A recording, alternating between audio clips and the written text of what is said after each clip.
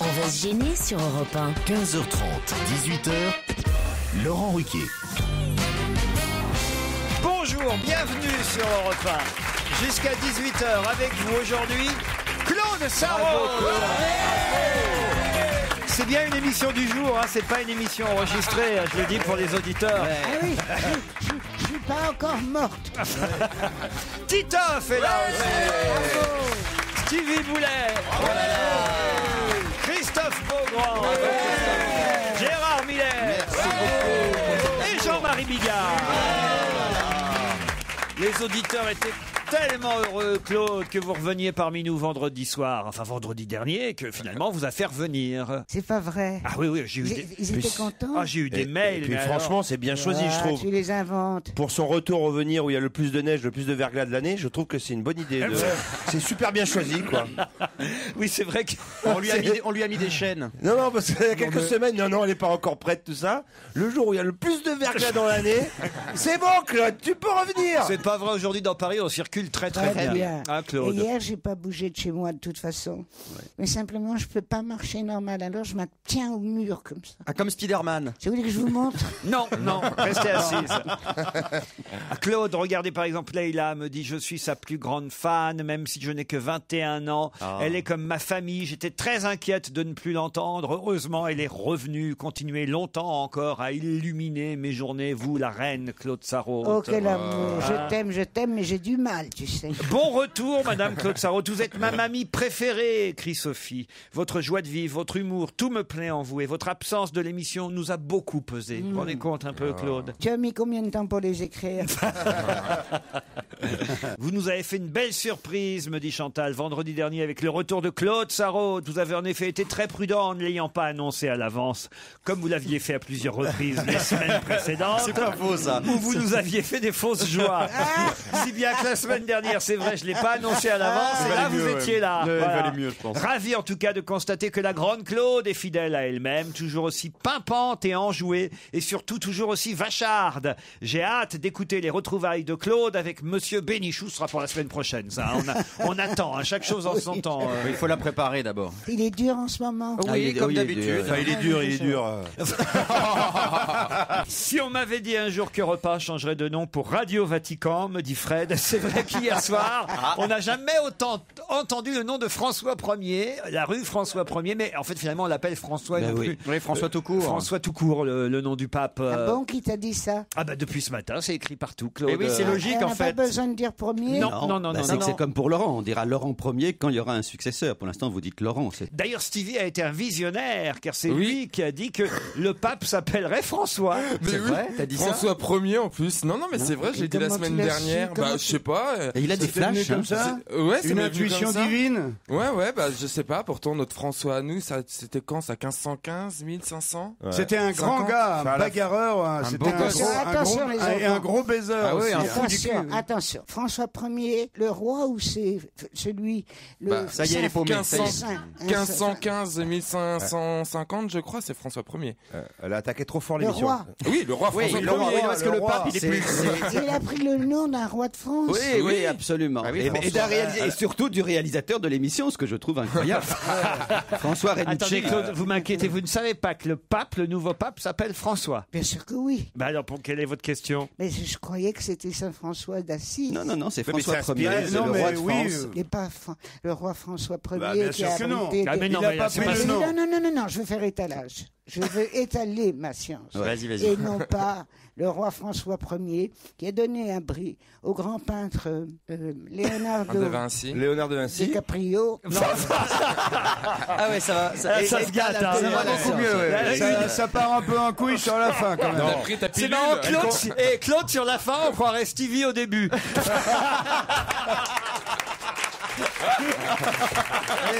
Je crois qu'elle elle confond. elle confond tout, je crois. Elle confond tout. Elle va appeler le, le pape le, le- le pape Bayard en fait. Elle confond la rue Claude, Bayard. mais avec- enfin, Leonardo DiCaprio, c'est un comédien. Oui, bon, d'accord. Alors, je voulais dire Lé- Leonardo di, Des Vinci. de Vinci. Oui, Vinci. comme les parkings, oui. Oui, comme les parkings. Voilà, alors, est-ce que c'est- quel nom il a pris? Le, le nom François. Claude Mais non. demande, moi je peux vous traduire le Sarraute.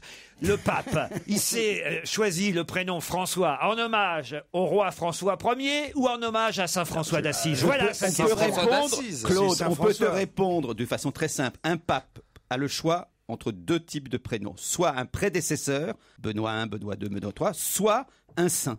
Donc c'est forcément, puisque c'est François C'est Ier. le saint et non un pas le roi. D'autant que François Ier en Argentine, vous savez, ils n'ont pas vraiment. Oui, je comprends. Et qu'est-ce qu'il a fait, le saint? Il a, il a- Ah, il a coupé son manteau en deux. Saint François d'Assise, oui, Oui. exactement. C'est le sein des pauvres, des des pauvres gens. Voilà. Avec quoi, un Ah, il a ciseau? coupé son manteau. Avec et il dents. a donné, il a, il a couvert quelqu'un qui, était, qui avait froid. Il aurait pu le donner en entier parce que l'autre il va se Bah geler oui. la moitié. euh, autant qu'il y en ait un des deux qui est chaud quand même. C'est bien la peine d'être ridicule, sain, les deux ils se meulent. Ben, c'est ça le symbole. À expliquer, Ben Saint-Gérard. non, mais c'est tout à fait vrai ce que dit Bigard.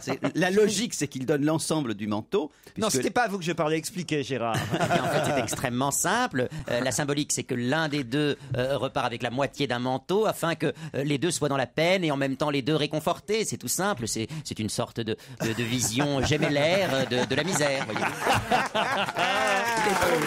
Ah, le nouveau Miller. Ah, oui, oui, oui. Olivier de Kersauzon nous manque. Qu'est-ce qu'il aurait dit, Olivier? Oh, pas me faire chier avec le peuple. là. Rien, rien à carrer avec ton peuple là. Moi, je préfère partir au bateau. Là. Rien à foutre. Quand est-ce qu'il revient? Ah, il revient bientôt, Claude. Ah, Euh, là, tu me mets avec lui. hein. ah, ben, bien sûr, sur le bateau, au retour.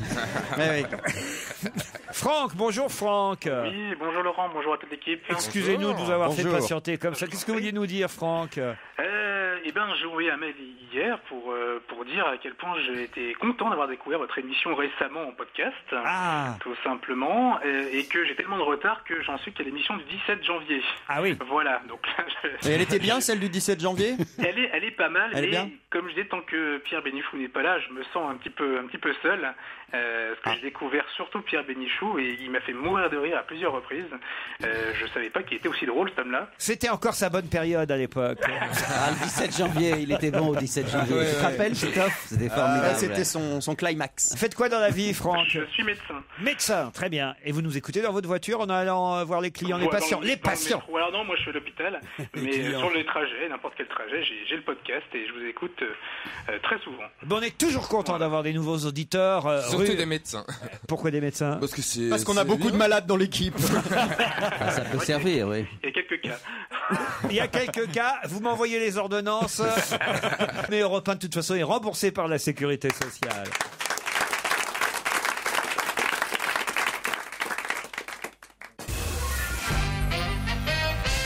Claude Sarraute réclame une histoire de Jean-Marie Bigard. Oui. Ah. Euh, je me suis fait engueuler parce que je l'ai raconté aux copains à la régie. On est en elle a régie. Il me passe devant. Ah tiens, salut. Et il se précipite, vous deux ou trois de ces connards. qui sont- qui Ça, sont c'est encore ça, c'est. Titoff et moi, ça. C'est Voilà. c'est sympa. Et il leur dit, je vous ai raconté cela. Et commence à raconter de plier de rire. Tu m'as dit, me- ne m'embrasse pas, je suis vieille et moche. Oui. Donc, euh, Ça n'a rien à voir avec écouter une histoire drôle. Je Oui, te demande d'accord. pas de Mais te c'est bizarre parce que moi, par contre, elle m'a pas dit de pas Eh. l'embrasser, tu vois. Alors, eh, je te la raconte. Je suis étonné que vous l'ayez pas raconté. Hein. C'est- Allez-y. Allez, c'est une bombe atomique. C'est un mec en Afghanistan, un photographe de guerre. Il quitte la zone euh, des combats. Il rentre chez lui, donc il retraverse le pays. Et d'un coup, sur une place, il voit des gosses qui jouent au foot. Et il y a un gamin qui joue au foot, mais jamais vu ça de sa vie, toi. Il met la balle sur l'épaule, poitrine, roucoulette. On peut pas y piquer la balle. Il le filme et prend ses coordonnées. Il rentre à Marseille et il va voir le- l'entraîneur des jeunes de l'OM. Il lui dit écoute, j'ai fait une vidéo, faut que je te montre ça. Il lui montre. Le mec regarde, il dit mais c'est un génie, c'est un génie pur, faut le faire venir. Ils le font venir à Marseille. Et trois mois plus tard, il y a la mère du petit, elle appelle son garçon, elle dit tu sais, c'est pas facile pour nous. Il y a ta sœur qui s'est fait euh, violer en allant à l'école. Il y a ton frère qui a pris deux balles dans la cuisse en allant acheter euh, du pain. Et puis ça m'ennuie de te dire ça, mais ton père euh, s'est fait assassiner il y a 15 jours. Et le petit garçon dit à sa mère, je suis désolé, maman. Sa mère a dit, t'es désolé? T'es désolé? Je rappelle que c'est toi qui nous a fait venir à Marseille. hein. Ah, bravo. Je crois qu'on va avoir des coups de fil là. On va avoir des coups de fil. Ça, c'est trop bien. Alors là, ah, n'est-ce pas, Titoff, c'est de la légende. Complètement. Complètement cliché. Vraiment drôle. Alors on a aussi des chansons dans l'émission, puisque euh, Marc évidemment nous demande, et surtout à Christophe Beaugrand, si Christophe pourrait interpréter Ça s'en va et ça revient de Clo-Clo. Ça s'en va et ça revient, c'est fait de tout petit rien. Ça se chante, ça se danse et ça revient, ça se retient comme une chanson populaire. L'amour c'est comme un Ça va, ça va aller. Ça vous Vous glisse. n'avez pas une ampoule et une baignoire Oui. Si tout se passe comme prévu, me dit Gilles, ma collègue Maya est dans le public aujourd'hui, Ah. jeudi. Normalement, c'est là que Christophe Beaugrand entonnera la chanson Maya sous le regard consterné de ses camarades de jeu. Est-ce que Maya... Ah bah voilà, elle est là, Maya. Cette petite abeille porte le nom de Maya, petite et espiègle charmante Maya, qui n'a vraiment peur de rien, qui suit toujours son chemin. Cette petite abeille porte le J'ai nom Michael aussi qui me demande L'aigle noir de Barbara. Mon Dieu, l'aigle noir, c'est d'une tristesse absolue. Allez-y voir. C'est pas possible. Un beau jour, ou peut-être une nuit, près d'un lac, je m'étais Quand Dis donc. soudain, semblant crever le ciel, et venant de nulle part, surgit un aigle noir. Lentement, je l'ai vu tournoyer. Une auditrice me demande aussi L'école est finie de Sheila. Donne-moi ta main et prends la mienne. La cloche a sonné, ça signifie la rue est à nous, que la joie vienne. Mais oui, mais oui, l'école est finie. Nous irons danser ce soir peut-être, ou bien chahuter tous entre amis. C'est. Rien que d'y penser, j'en perds la tête. Mais mais Il oui, était comme ça euh, dans votre boîte à la loge. Oh là là, il nous en a fait des choses à la loge. Il Mais nous non. a fait la tigresse sur le canapé. Non, j'ai fait ça une fois. Parce que Stevie, vous ne le savez peut-être pas, cher Claude Mais si Sarraute, je l'ai appris en régie. Stevie pas- a maintenant une discothèque Mais je sais, mais Et- j'ai trop mal pour aller. Il Oh. ne veut pas que je vienne. Bah Mais, oui, il a euh, sur- raison. Mais sur un fauteuil roulant, tu peux venir. En fauteuil roulant jusqu'au Mans, je pourrais pas. Non, ça fait loin. Ça dépend sponsorisé par Lotus Ford. Elle ne dit pas de mal de ça. Ah non, mais Lotus, je parle pas Lotus, du pas papier, de papier toilette, je parle non. des voitures. Les voitures de course, tu vois, c'est pas. Claude, Oh merde. elle est dans une voiture Lotus, c'est pour chier à l'intérieur. Mais non, mais j'interdis maintenant qu'on dise du mal de tout ce qui peut aider les vieilles gens, quoi. Mais bien sûr, mais je comprends. Cher on en a Claude. tous besoin du Lotus, hein. pas que les vieilles gens. Oui, oui, bien sûr. On part direct sur des, des- des sujets Ah, intello comme D'ailleurs, ça j'ai aussi un auditeur qui m'a réclamé la chanson de la publicité pour le papier toilette, le trèfle, Christophe Beaugrand. Je voudrais faire une surprise à ma femme. Il paraît que vous en avez reçu un nouveau. Oui, ma femme est en train de l'essayer, mais je suis au courant. Il est bleu, bleu comme l'aube. La vivacité du teint et se fond avec les bergamotes et la vanille apporte sa fraîcheur matinale. Et vous verrez, la qualité a été perfectionnée. Ma femme va être extrêmement touchée. C'est pour offrir, je vous l'emballe. Non, non, je suis pressé. Ma femme m'attend dans la voiture. Là, là, non, non, là, là, Qu'est-ce qu'il y a, Gérard là, il y a- du trèfle parfumé. Il y a quand même une énigme. Que, que tu te souviennes de possible. chansons, je peux le comprendre, mais que, que ton cerveau se remplisse de choses totalement inutiles comme des publicités pour promouvoir du papier toilette, c'est quelque chose qui me Ah, dépasse. ça, tu me sembles un cas absolument incroyable et je souhaiterais euh, pouvoir te prendre en psychanalyse afin d'en savoir plus. Écoute Gérard, peut-être, je vais essayer. Écoute Christophe, je pense que je te ferai un prix. Il fait les deux. Il devient, il devient inquiétant. hein. Ah, ça devient très Je sais que je ne m'ennuie jamais. Hein. Il faut sauver le soldat Miller, m'écrit d'ailleurs euh, Bruno. Miller, c'est zéro point au kick à Ah mieux oui, bossé. c'est vrai, ouais.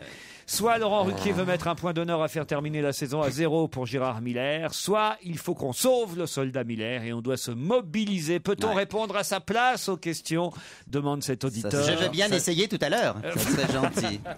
Bon, on verra ça, car le kick a le mieux bossé, ce sera dans un instant après James Blunt sur Europe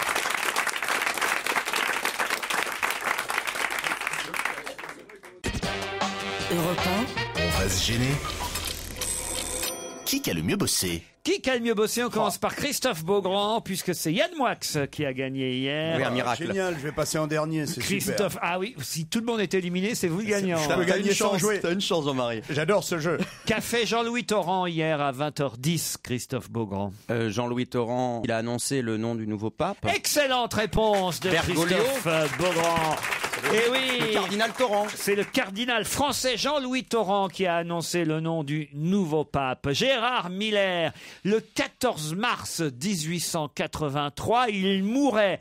130 ans après sa mort, il fait la une de l'humanité. De qui s'agit-il? La une de l'humanité, ça me semble extrêmement simple comme question.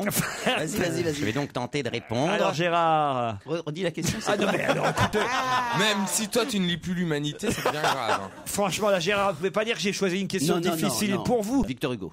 Karl Marx, vous êtes Oh là là. éliminé Oh là là, Gérard la honte, Miller. la Aïe, aïe, aïe, aïe, aïe. Alors là, La franchement, honte sur toi, t'es irrécupérable. Là, Non, tu mais alors là, Non, mais là, c'est vrai. Moi, je me souviens, il y a 20 ans, Karl Marx, il l'avait sur Mais le... oui, c'est vrai. C'était un peu le Lady Gaga de Caroline Diamant, vous voyez. Dès qu'il y avait une c'est question, vrai. il répondait Karl Marx. Non, mais là, tu c'est peux pas dire fait du mal le capitalisme quand même. hein. Là, C'est tu peux pas dire qu'il y a un complot. Non, non, hein. il n'y a pas de Non, mais là, complot. Gérard, franchement, Mais oui, la une de l'humain. C'est ça, c'est en ça que ce qu'il est devenu tellement plus aimable, Gérard. il a tellement changé, c'est Ah oui. extraordinaire. Claude Sarraute, pouvez-vous me donner le nom d'origine du nouveau pape? Tu es fou. Ah si, son nom. Boglio, Boglio, Bo- Bo- Boglio. Bonne réponse de Claude Sarraute Franchement, oui. Bergoglio Ah oui, elle a, elle- ah, Ouais, franchement, elle lui a accorde. cochonné, on va dire. La- la dernière Elle l'a dit à syllabe. sa manière. Ah, Bah attends. Et George, George Mario. les George prénoms, Mario George. Bergoglio. Non, mais je vous l'accorde. en ma chanson d'entier, c'est bien. hein. Bonne réponse de Claude Sarraute. Évidemment, le nouveau pape étant argentin, il a tout de suite reçu les félicitations de sa compatriote présidente de l'Argentine, qui est Madame. Pergata. C'est un Mais con- non, c'est c'est le même consonance pré- allemande. C'est Madame Kirchner. Kirchner, je vois, oui, c'est. la Oui, présidente vous êtes argentine. éliminé, Titoff. Ah, t'as vu là, moi Stevie, pas, moi pas. ah, c'est incroyable, la première fois que ça m'arrive. Stevie, pouvez-vous me dire le nom du sociologue mort mardi à l'âge de 79 ans et révélé par ses travaux sur la folie? Ah, je sais pas. Ah oui, mais il est dans sa boîte de nuit, il peut plus lire. les Non, journaux. si, je lis. mais- Robert Castel, un homonyme du comédien Robert Ah bon Castel, Ah oui, sociologue. Robert Castel Non, pas celui-là, Ah bon l'autre. Vous le connaissiez, Très bien, Gérard oui. euh, J'ai- Robert- j'ai- il, était, il était prof dans la même fac que moi. C'était un anti-psy, mais. euh, Ah, c'était il- un anti-psy Enfin, non, il était très critique sur la psychanalyse et il était effectivement prof à un Robert donné. Castel. Non, mais il y a- Robert il y, a- il y a Castel. des pages entières hein, dans la presse qui lui Ben, sont- pas dans la presse sur internet. On parlait que- presque que du pape. Je pensais qu'on aurait allé avoir des questions sur le conclave, sur. euh, Ah, mais il y en a eu déjà. Mais, Bah oui, mais vous, mais- vous êtes tombé sur Robert Castel. Bah oui. Jean-Marie Bigard. Je peux pas donner la question. La nouvelle saison de Formule 1 commence Oh. dimanche prochain Ah, ah, en Australie avec le Grand Prix de Melbourne. Oui, d'accord, d'accord. Mais qui a été champion du monde la saison passée C'est facile. Qui Ah est bah le non, champion du monde en titre Ah bah non, le champion du monde en titre, c'est super euh, facile. C'est c'est euh, c'est euh, c'est Fernando euh, c'est Alonso. Non, Voilà, c'est bravo. Sébastien Vettel. Ah, c'est- c'est- Vous c'est- êtes éliminé, Jean-Marie Bigard. Non, mais on a fait signe- En plus, dans ma catégorie, Ça, je savais. j'adore et tout. Il reste, et c'est le match, Christophe Beaugrand contre Claude Sarrault. Sois gentil, tu m'aides à gagner. D'accord, je, vais- je vais- je vais te laisser gagner. Non, pas Christophe d'ailleurs. Beaugrand, hier soir, Arsenal a gagné 2 à 0 contre le Bayern de Munich. Mais quel est le Français qui a ouvert le score français qui joue à Arsenal? Vous le connaissez, hein? Ah oui, je le connais, vous Ah êtes sûr? Ah ouais. Euh, je le connais. Il a été le Giroud. plus- Oh bah bravo Olivier mais Giroud attends. Bonne réponse de Christophe Beaugrand Eh, eh, ah pardon, hein, alors les questions. Et Claude qui jette Non, sa serviette. J'en ai marre. Qu'est-ce qu'il y a, Claude Qu'est-ce suis qu'a fait en régie Non. avant que je commence cette connerie d'émission. Je lui ai dit qu'il était le plus beau, qu'il était le meilleur, que je l'aimais comme un fils, et voilà le résultat. Claude Sarraute, quel est le nom euh, de la créature des anges de la télé-réalité qui fait le buzz depuis une semaine avec sa fameuse phrase Allô, non mais allô quoi? Allô, allô, non, Claude. mais allô quoi? Allô, Claude. Nalala. Ah bah, c'est pre- c'est presque Qu'est-ce que ça. vous avez dit, Claude? Nabila.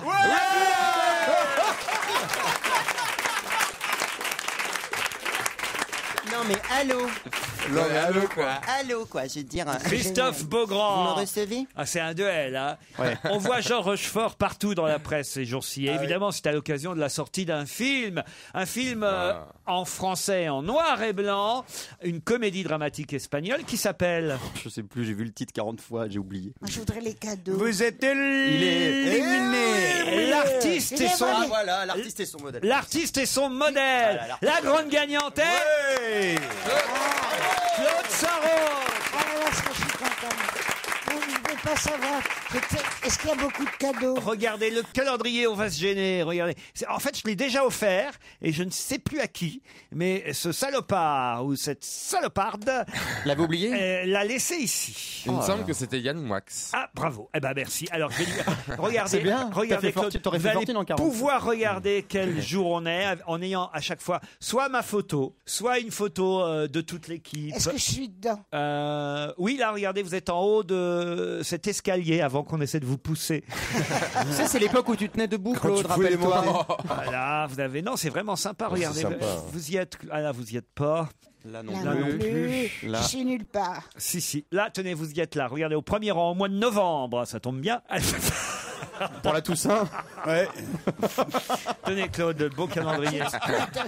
Pour vivre heureux, vivons couchés. La véritable histoire du sexe, signé Pierre Ménard. Ah, c'est ça, parfait. c'est pour moi, c'est pour moi. C'est un pour moi. étudiant euh, à HEC qui a 21 ans et voilà, il publie euh, l'histoire des Grecs et des Romains, de Proust, de Dali, de Rousseau. Une belle paire de fesses en couverture. Ah quand même. ouais, la c'est vrai, véritable histoire du sexe. Génial. Voilà. Ça, ça lui plaît beaucoup. Ah bah ça, oui, c'est pour moi. Pensée gourmande, signé Pierre Arditi. C'est le cherche midi. Vous savez, il recueille des citations. Après, il demande à un artiste de signer. C'est pas lui qui les a trouvées, mais c'est pas grave.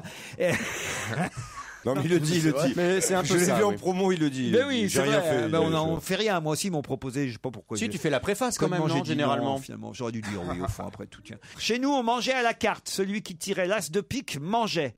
Alors ça, c'est Woody Allen. C'est pas vrai. C'est pas de Woody Allen ce- cette phrase en plus. Après un bon dîner, on n'en veut plus à personne, même pas à sa propre famille. Non, non, arrête, C'est Oscar Wilde.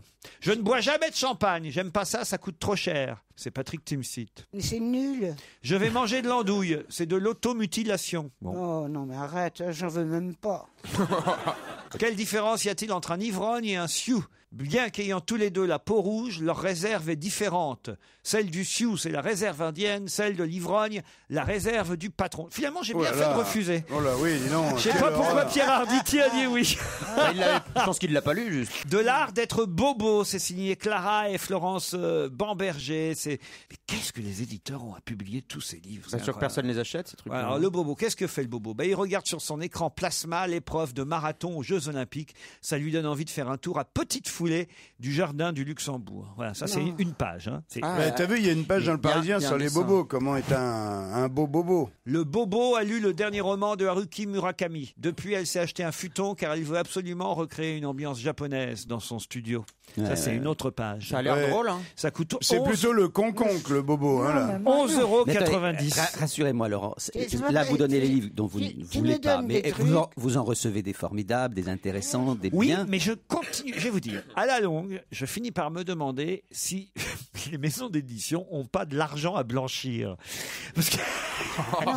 Parce que je me demande quel est l'intérêt de publier des livres que personne ne va jamais acheter. Tous les jours, je, je quand même, je, je donne ici, et je lis. je- enfin, vous voyez bien que ça n'a aucun intérêt ces deux livres-là qu'on vient de. de- de- Non, de- mais je voudrais- aucun. Il y a personne qui va jamais Alors pourquoi acheter ces tu me deux. les donnes mais parce que tu as gagné Parce que, vous Parce avez que tu gagné. les mérites C'est le principe du qui a le mieux Oui. bossé. Non. Donc, non, mais quel ils est- ont au moins le mérite de nous faire rire. Donc euh, quel est l'intérêt des, é- des éditeurs de publier des livres dont j'imagine alors Ils touchent pas des aides ou il y a pas un truc comme non, ça non. Bah non, non, en plus, il n'y Non, a en pas principe, d'aide. non. il faudrait qu'on Pour la m'explique. presse, Tiens pas voilà pour les ça livres. ça c'est un truc qu'on de- on devrait euh, À Vermus. faire enquêter Vermus là-dessus. Si vous voulez une explication technique, c'est ce qu'on appelle le principe des offices.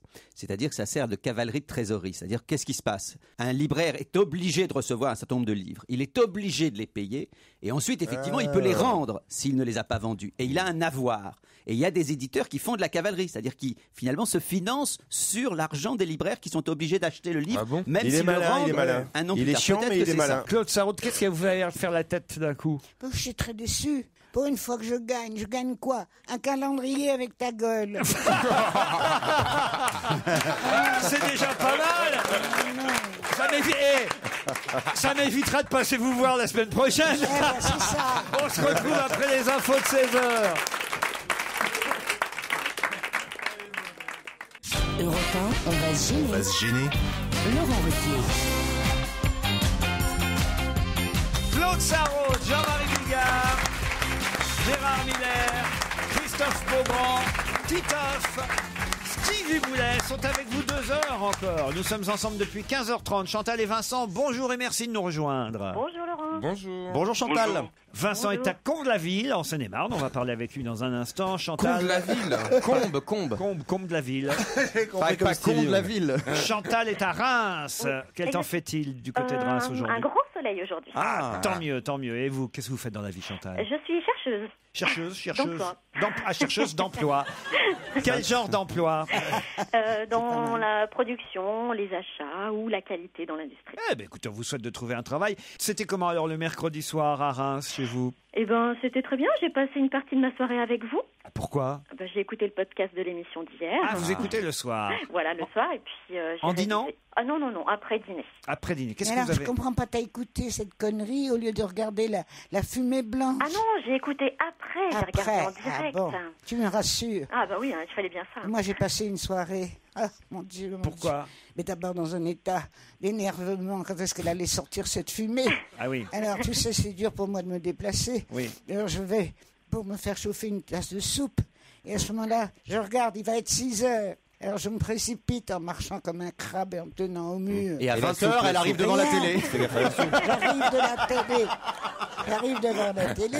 Que À des 20 heures, parapluies. Que des parapluies. À l'ombre d'une fumée. Je repars. J'arrive devant la phono pour faire, me faire un pauvre bol de soupe. Encore? Un petit bol de soupe. Ben, j'avais pas eu le temps. j'avais- oui. Et à ce moment-là, ça y est, j'ai raté la fumée.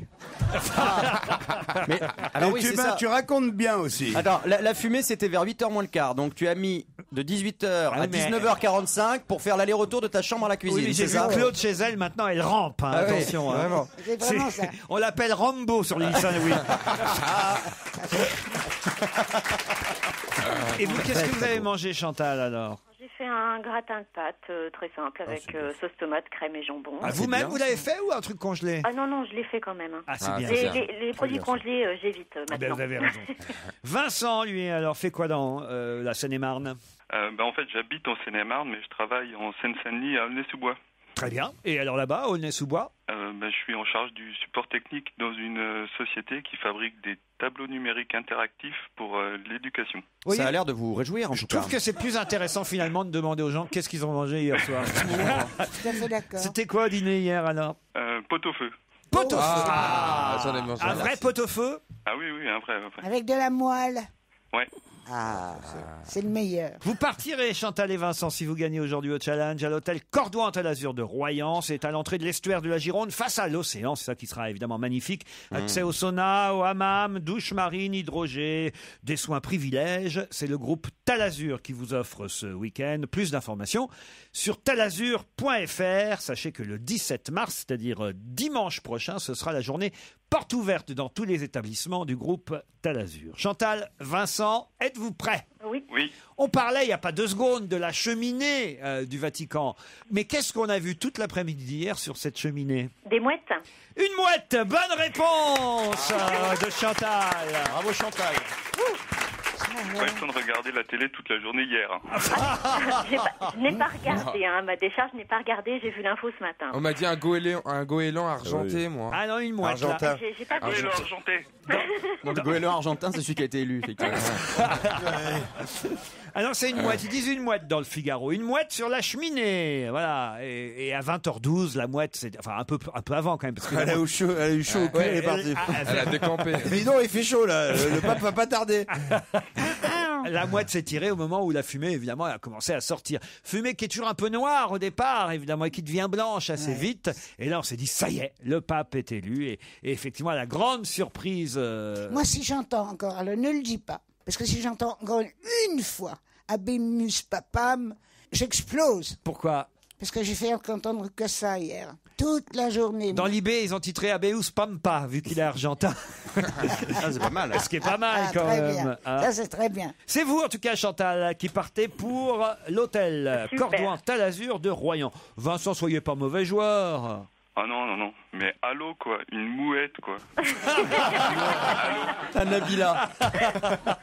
Il est drôle, euh, Vincent. Il a mérité un petit cadeau de Oui, en plus, il est en banlieue parisienne, il peut venir voir euh, des, des, des- Ah bah oui, des vous voulez spectacles, deux, je pense. deux places pour aller voir Mustapha Très bien. Les productions Ouh là là Ouh là là vous offre deux places pour le Trévise. Ça marche, Vincent Merci. On Oui, vous c'est très embrasse. Bravo, Chantal.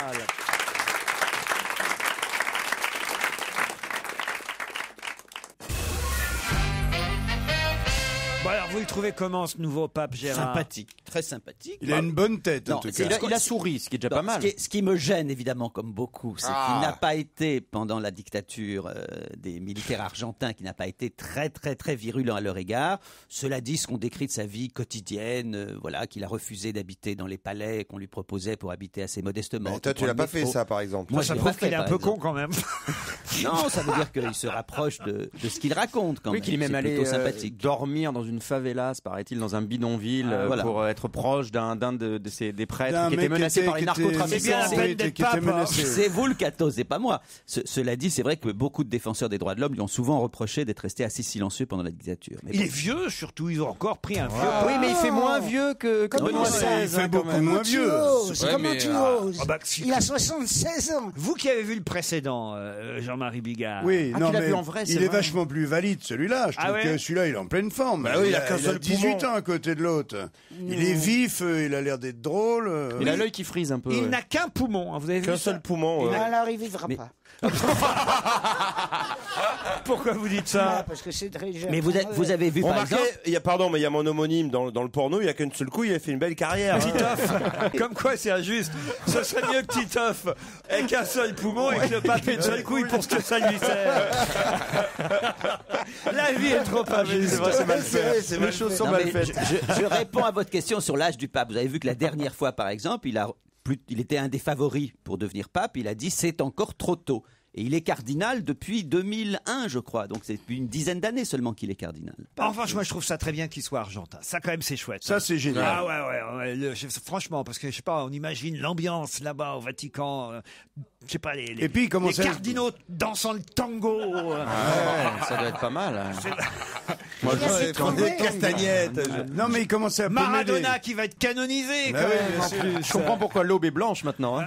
Ce qui a été amusant, c'est quand le français, là, Monsieur Torrent, euh, le papa d'André Torrent, hein, Jean-Louis, là, il est venu et puis qu'il a, il a annoncé le pape. Ouais. Il y a eu, mais alors, un moment sur les plateaux télé, euh, que ce soit LCI, euh, que ce soit BFM. Il y a eu un gloops. Mais un grand, un grand vide, une grande absence, parce que personne s'était préparé. Même la mère Boutin, elle était surprise. hein. Genre, c'est qui celui-là? Quand le cardinal Torrent là, a, a- a annoncé le nom, mais il y a eu, mais quand même, il y a eu une déception sur la place Saint-Pierre. Parce qu'ils ont cru que c'était lui. Ben non, mais c'est c'est pas ça. C'est Ah, surtout, Scola. c'est surtout qu'ils espéraient un Italien. Mais Quand il y a sûr. une majorité d'Italiens sur la place Bien sûr. Saint-Pierre. Il y Oui, avait- mais il est d'origine Faut italienne pas- et les, les Ouais. Argentins sont, major... enfin, sont très nombreux d'origine italienne. D'origine donc italienne, on dit oui. que c'est les Italiens de l'Amérique latine. Donc euh, quelque part. euh, Oui, ça a mais pu moi, quand je suis peut-être allé voir le pape, euh, il y avait quand même, euh, dans le bureau du Premier ministre, on attendait d'être reçu, il y avait quand même une Ferrari posée sous une toile, une tapisserie euh, millénaire. Il y avait une Ferrari et le ballon de la Juventus, quand même. Qu'est-ce que tu allais foutre chez le pape Bah, t'étais pas au courant Tu te souviens pas C'est Nicolas Sarkozy qui l'avait invité. Non. Oui. Si Je suis allé avec la délégation euh, française. Mais t'es malade. Mais non, putain. Non, il est catholique. Mais non, ouais. Claude, vous vous souvenez pas de ça Mais non. Ah, vous m'inquiétez de pas vous souvenir de ça. Ah, mais pas du tout, je me souviens de rien. Ça, te- t'inquiète pas. ça. c'est rassurant. Ah bah si, enfin, Jean-Marie, il était Alors, allé avec Nicolas Sarkozy voir le pape. tu lui as baisé la main Ah Oui, oui, tout à Il fait. faut bien commencer par quelque chose. baisé le- ouais. Mais attends, est-ce que J'ai baisé l'anneau Mais ça, ça veut dire qu'il conduit une Ferrari? Non, non, mais ça veut dire que sous une toile, je te dis, euh, Ils ont- millénaire avec euh, une, une salle immense, avec des petits encriers pour chacun et tout, une grande salle de réception, c'est c'est somptueux, les plafonds et tout. Moi, j'étais là avec mon, mon, mon iPhone, je- j'ai j'ai filmé tout le bordel, on n'avait pas le droit normalement de faire des trucs, mais je Ah, suis mais allé bravo. pour visiter Ah, le truc. Le Et courage. Aucun respect. Qu'est-ce qu'il y a, Claude? J'ai dit quel courage. C'est extraordinaire. Est-ce que tu as été nommé à l'ordre de la libération? Vraiment un haut ça. Il va chez le pape. Et figurez-vous, qu'est-ce qu'il fait? Il filme en Il a le courage de sortir son petit appareil de photo qui est grand comme une boîte d'allumettes. Qu'est-ce Il a fait clic-clic. Et il a photographié ce qui est Bah oui, c'est un- infotographiable. C'est une Fiat sous une bâche. Bravo, Claude. Non, c'est- tu sais, Claude, j'ai fait l'ouverture de la pêche le week-end dernier et j'avais pour euh, j'avais des teignes comme hameçon, mais la prochaine fois, je, je pêche avec toi parce que t'es pire que les teignes. Tu te rends compte de ta méchanceté Vous êtes devenu très méchant, en tout cas. Ah oui, et ça s'arrange pas du tout. Puis t'as pas envie que ça s'arrange, Mais pourquoi vous êtes devenu très méchante Et je comme ne sais ça pas, parce que je, mar- je marine toute seule dans ma bile. Et alors, je déteste tout maintenant. J'en étais réduite à voir des films sur les animaux. Parce que le reste, je comprends pas. Même pas Maigret, même pas. Ah, tu regardes- tu regardes les documentaires? Je regarde des films. Et de là, c'est des films de la BBC. C'est que des animaux que je vois. Eh ben, c'est truqué. Pourquoi C'est truqué. Parce que par exemple, on te montre, on te dit voilà, maintenant, voilà un ourson. Alors si c'est des animaux qui parlent, c'est un dessin animé, hein, c'est pas un documentaire. Elle a vu le roi lion en fait. C'est un documentaire de la BBC. La BBC, oui. Alors, on peut BBC, oui. s'incliner devant la BBC. Et alors, qu'est-ce qu'il y a de le truqué bébé, voilà, voilà que le deuxième petit bébé ours va sortir de son trou. Oui. Et en effet, on voit un bébé ours qui sort sort de son trou. Mhm. Mais, continue la dame ou le monsieur qui parle, il ne sait pas quel gros danger le guette. À ce Mhm. moment-là, on voit un, Un loup. un, non, un, un renard. Il, il est alors renard. Et alors Alors, Bah, Qu'est-ce qu'il y a de truqué là-dedans Parce que, mais qu'est-ce qui va arriver au petit ourson? Alors, alors Toutes les vieilles dames comme nous, qu'est-ce qu'il va faire, le pauvre chéri euh. Alors, à ce moment-là, Oui. arrive un, un- un gros ours. Oui, c'est le papa ou la maman. quoi. Oui, mais justement, c'est pas la maman. Oh là là, c'est scandaleux. Comment tu le sais que c'est pas la C'est maman pire que Parce qu'ils me Dynastie. l'ont dit. Ils me l'ont dit. Mais Ils comment me ça, l'ont ils te dit l'ont- à la télé. Et ils t'ont dit Et quoi alors, et alors Et Et qui te l'a dit les- le- Dis donc, c'est pas Booba contre la fouine, ça Ouais, c'est ça. Non, mais le Vas-y, père, ce je qui suis arrive, c'est suspendu. que les gros ours, ils mangent les petits oursons. Ah bon Bah, bien sûr, comme les lions. Voilà. Et Et alors les bouffes pour pouvoir Mais qu'est-ce qu'il y reniquer a la, la Ce que je veux femelle. dire, c'est qu'on me raconte une histoire et c'est illustré simplement avec des photos. Ça dit- ça a des photos qui bougent un peu. Ça, ça s'appelle des images, oui, c'est Le renard, on le voit, il fait quelques pas. Oui. Surtout, tu vois les empreintes dans la neige profonde, parce que ça se situe toujours Ah oui, en Sibérie ou dans Bien le sûr, bien sûr, C'est mieux On pour peut les pas les vérifier. Alors oui. qu'est-ce qui est truqué, Claude Eh ben, c'est truqué très parce bien que ce qu'elle dit. l'image ne correspond pas. On te raconte une histoire et on te met de temps en temps sur l'écran, ton ta télé, une image pour illustrer l'histoire qu'on te raconte. Mhm. Mais c'est pas pour de vrai. C'est- Ouais. C'est pas vraiment un, euh, un, un lion qui se dirige vers le bébé ourson. il y a des lions aussi C'est un lion En qui Sibérie se promène. Ah, Et on te dit qu'il va manger le ça, bébé c'est la ourson. journaliste qui parle. Oui, tu je comprends bien. Vous voulez dire qu'on fait un montage de différentes images Voilà. pour vous raconter une Oui. histoire qui, qui, en fait n'est pas vraie Et puis on leur donne des prénoms et c'est pas vrai. Ah, ça, c'est incroyable ce que tu viens de découvrir. C'est un sacré scoop. hein. Gérard, Non, mais c'est tout à fait intéressant. Non, n'exagérez pas non plus. Non, le, le cas est intéressant non, psychiquement, quoi, c'est- ça. Quel focus, Miller Non, non, c'est. Non, mais c'est- intéressant. Il est ravi, qu'il est ravi, il se dit Ah là là, elle, elle gatifie de plus en plus. Oh là là, je vais me porter de mieux en mieux, moi, parce que cette vieille conne, elle fera pas longtemps. T'exagères. T'exagères. hein.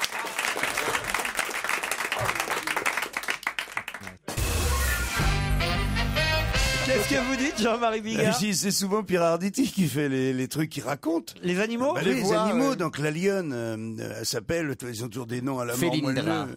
Oui, oui, euh, Bocara est- n'est pas contente car son petit n'est pas rentré encore. Et voilà, tu vois c'est ça. Voilà, moi, c'est à peu près c'était ça. mieux. Moi, c'était mieux. Pumbo a croisé vite, vite le vite le petit renard. Non, mais c'est vrai, il te donne des noms. Il y a même une série euh, sur les lémuriens, c'est incroyable, qui te raconte toute la vie. Et c'est comme une sitcom, c'est présenté comme une sitcom. Et vous regardez ça, vous aussi, Jean-Marie, alors? Bah, euh, de temps en Est-ce temps, qu'il a tu- des bébés si tu veux, il y a un truc qui est bien, la, la connerie a un, un énorme, une énorme qualité, elle est hypnotique. Et du coup, ça aide à te détendre. C'est Hein, formidable. quand tu tombes sur un truc comme ça et que tu bouges pas, tu laisses, tu laisses le son, hop, t'es hypnotisé, t'es bien, tu traverses un couloir du temps. euh, Non, mais c'est mignon C'est aussi, tout tous à ces fait vrai. animaux. Mais vous avez des animaux préférés que vous adorez regarder? Écoute, non, pas spécialement. Je- J'aime bien les poules naines euh, du Mexique. du Mexique. Les, les singes aussi. Qui cherchent Ah, un truc si, complètement si, les con. grosses truies violettes. Ça, oui, t'aimes oui. bien. Les grosses, les grosses fesses des singes violets. Ah, babouins. chose. Ah, ça c'est quelque chose, me régale. Bah oui, avec les couilles bleu marine, vous avez vu Souvent, il y a le cul rouge et les couilles bleues. Et plus elles sont, plus Ça elles ont, un plus pote, elles ont ouais. un beau bleu, et plus c'est des bons reproducteurs. Et des- et alors quand ils grimpent aux arbres, enfin dans, aux zoos ou dans la télé, c'est leur gros Quand ils grimpent dans la télé, rouge. c'est qu'ils sont chez toi. Hein. Faut faire attention, faut appeler quelqu'un. Qu'est-ce que vous voyez, Claude Alors tu vois leur gros cul rouge qui, qui se déhanche comme ça le long de l'arbre, c'est incroyable. Et moi, à ce moment-là, je monte de tomber d'ailleurs parce que j'essaye de me rapprocher du poste. Pourquoi, pourquoi faire? J'essaye de mieux voir. Mais vieux voir quoi? Ben, Les couilles et les... C'est, on y est. On touche le fond. Ça en a regardé les couilles des singes. là. Mais tu sais, Claude, si dans les, les- si dans les documentaires animaliers, c'est ce qui- c'est ça qui t'intéresse, tu peux directement regarder un porno, tu sais. Hein. C'est vrai. Bah oui, si c'est vraiment ça qui peut vous faire plaisir. Oh, Marc, bah- non, ça va me donner des regrets. Ou alors on vient faire du live à la maison si vous voulez. Ça y est, on peut Je visiter. te promets que je me peindrai pas les couilles en bleu marine pour toi. Hein. Je te dis tout de suite, je veux bien venir, mais sans maquillage. Le cul rouge, le cul rouge, on en connaît peut-être. euh. Moi, je dis rien. On peut faire quelque chose, mais pour les couilles bleues, il a raison, Jean-Marie, là. Ça y est, on a ouvert sa maison. Un peu de culture, ça va faire du bien. Ah, pardon, excusez-nous. On a ouvert sa maison à la visite. Euh, trois ans après le décès de ce chanteur, on peut en effet visiter sa maison. De quelle maison s'agit-il? Pascal Sevran? Non. Euh, Snavour Non. C'est c'est de la Il vraie est, culture. il est vivant. Euh, je sais, c'est c'est le chant... euh, euh, euh, la mer, la mer... Charles Trenet. Charles Trenet, non, pas du tout. Non, Euh, c'est la D'ailleurs, montagne, Charles- la montagne. Charles Trenet est mort depuis bien plus Jean longtemps Ferrat. qu'il y a trois ans. Jean Ferrat. Jean Ferrat, bonne réponse de Titoff. Ah, Dans le village d'Entraigue, dans l'Ardèche, pas loin de chez vous, Gérard. C'est- C'est pas tout près de chez moi, mais c'est dans le même Ah bon, c'est pas département. tout près Bah, c'est quand même assez grand l'Ardèche. Bon, quand est-ce qu'on vient chez vous alors Cet été. Ah, Titoff me l'a proposé. Je lui dis, vous êtes invité cet été. Tu m'as pas dit vous êtes invité. Et moi... Je t'ai dit, tu peux passer avec ta petite Tu m'as dit fille. je te fais 10%, tu m'as dit. Sur la Ah. Je t'ai dit, moi, tu tu es me- invité. Tu me payes l'ambulance Écoute, tu es invité. Je t'ai invité, Claude. Je t'ai invité chez moi il y a deux jours et tu n'es pas venu. Oh, peu- oh, ça c'est... Tu veux que je raconte Tu veux que je raconte ce qu'il nous a fait Non, allez-y. En tout cas, moi et hein, la jeune femme qui m'accompagne quand je sors. Il nous a, le jour où il a baptisé républicainement sa fille, Oui. il nous a annoncé une grande fête pour le je sais pas quoi, avril. Et puis, Non. euh, Pas une grande fête. La, ah projection. ouais, la projection de Strauss-Kahn, c'était intéressant. Enfin, la projection de Strauss-Kahn. Faites attention à ce que vous dites. Oui, parce qu'on en connaît une qu'il a déjà eue, mais c'est arrivé sur le col de chemise. alors. Vous voulez dire un documentaire sur DSK Voilà. Celui que j'avais réalisé, qui est diffusé mercredi soir. Et il appelle. La, la semaine prochaine, c'est? Il est, non, il est diffusé mercredi prochain sur France 3 à 20h45. Ah, Ah, et c'est très très bien, je l'ai vu. En hein. prime, time. Parce que moi, je suis allé voir euh, la projection. Ah, tu- Vous étiez nombreux à la projection chez lui Oui, oui, Combien vous étiez? Non, parce Oh. qu'il a, il- il a- il- après, il a envoyé à ma copine euh, Désolé, lapsus, deux points, changement de date. J'ai Et fait c'était une hier erreur, soir. je reconnais. Donc j'ai invité quelques amis à venir voir. On en était avant-première. 7-8, même pas. Il y Claude. avait Pierre Je suis Bénichou, il y avait Ben que vous Guilly, il y avait soyez- quelques amis. Et Ah j'ai ouais. invité Claude et j'ai donc fait effectivement un message à la personne qui devait l'accompagner. Elle est charmante. Et je reconnais que je me suis trompé. Au lieu de lui dire que c'était rendez-vous le 11 euh, mars, j'ai marqué rendez-vous le 11 avril. Donc c'est vrai que je me, je me suis trompé. J'ai reconnu sympa. ce lapsus. Mais tu, tu peux pas la saquer, c'est une chose. suis des procédés comme ça, je, je me couvre la tête de cendre et donc c'est vrai C'est dommage parce que c'était- vraiment bien. il, il est très bien ce film et j'aurais été ravi que je te enfin oui mais je, que reconnais, tout le monde se disait c'est dommage que Claude soit pas là en plus. Ah oui, non mais Claude, ça. je vais vous dire, vous n'avez aucun regret puisque c'était le soir où moi, j'aurais bien voulu être à votre place, qui me mettent le 11 avril. Le documentaire, je suis ravi de l'avoir vu, mais il a quand même fallu une heure et demie pour aller jusque chez Gérard et à peu près une heure pour revenir puisque c'était avant-hier Ah oui, soir, c'était- le soir où il y a eu mais alors euh, le plus de neige Ah dans ouais. Paris où on ne circulait pas. Ah, On a moi, je commencé suis avec- ravi de ne pas y être allé. Ben, vous n'auriez pas pu non mais c'est aller. vrai que c'était De toute façon, dangereux bien ça sûr. tombait bien parce que c'était très dangereux Non, mais et alors sûr. Pierre Bénichou est arrivé et alors je dois dire je peux raconter une anecdote il est arrivé avec des chaussures à clous Oui, On les a vus, nous les a montrés Oui, ici, alors déjà. sauf qu'il m'a bousillé parce que la pièce où on a regardé, Il a bousillé le parquet. superbe parquet. Il est, je vous assure, absolument bousillé. Je dois changer Ah, le parquet. C'est drôle, Ça lui va bien. Et alors, j'étais catastrophé parce que c'est. Il a pas enlevé ses crampons. Il a pas enlevé Ah ses non, crampons. il est descendu Ah, et, il a- énorme. et à la, la place de Pierre Bénichou, je peux mettre. Vous savez, il y a des restaurants où on met ici euh, dîner Karl Marx, ici. et là. Ici, à Marché. Marché, Pierre Bénichou s'est bousillé dans la salle de. de- Bon, enfin bref. Moi, J'étais ravi quand même que vous assistiez à la Non, mais projection. alors le documentaire est très très bien, Claude. Je vous jure, on apprend des tas de Oui, choses. mais moi je vais le regarder peinard chez moi. Quand Bah, est-ce que ça Mercredi soir prochain, 20 mars, sur, France sur, 3. sur France 3. Voilà, DSK. 20h45. Gérard, vous êtes allé dans les boîtes euh, échangistes et tout ça pour Ben, enquêter vous- on voit quelques images et je suis effectivement allé aux chandelles une fois. Et alors? Qu'est-ce que c'est que ça, les chandelles? C'est une boîte à partout. boîte, euh, voilà. Bah, d'échangiste. Non, c'est une boîte, une- euh, échangiste. Échangiste, oui, c'est une boîte Et où échangiste. tu laisses tes C'est-à-dire, si Dieu, tu prêtes ta femme, bon, on te la redonne, elle est un peu décoiffée, mais on te la redonne. Je sais, je sais. Et toi, tu peux en prendre une autre, tu vois Moi, ce qui m'intéresse, c'est tes vêtements. Qu'est-ce que t'en fais Et t'as des casiers. Mais non, mais c'est pas naturiste quand même, si C'est pas naturiste. Euh, non, non, non. T'es pas à Ah, poil. Tu n'y vas pas avec une cravate et un costard. Non, mais d'ailleurs, Gérard Miller, lui, il n'y va pas pour échanger sa femme, il y va pour échanger ses vêtements. Mais c'est bizarre, il est, il est Il toujours. arrive, il a un vieux pull, il repart, il a, il a, la- Exactement. il a le costume de Strauss-Kahn.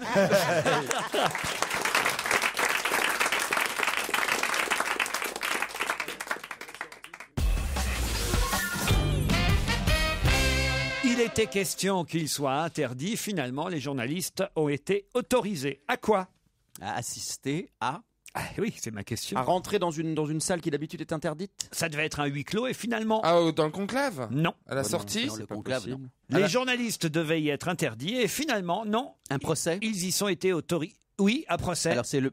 Est-ce que c'est un procès euh, Ah, des Tibéri non. Non, Oh, bah, c'est le procès de, du, du capitaine de bateau, celui, le- le- celui qui amenait les enfants Ah en non, bateau. non, non, non, Non, non. de Concordia Non plus. C'est en France? C'est pas en France. Ah.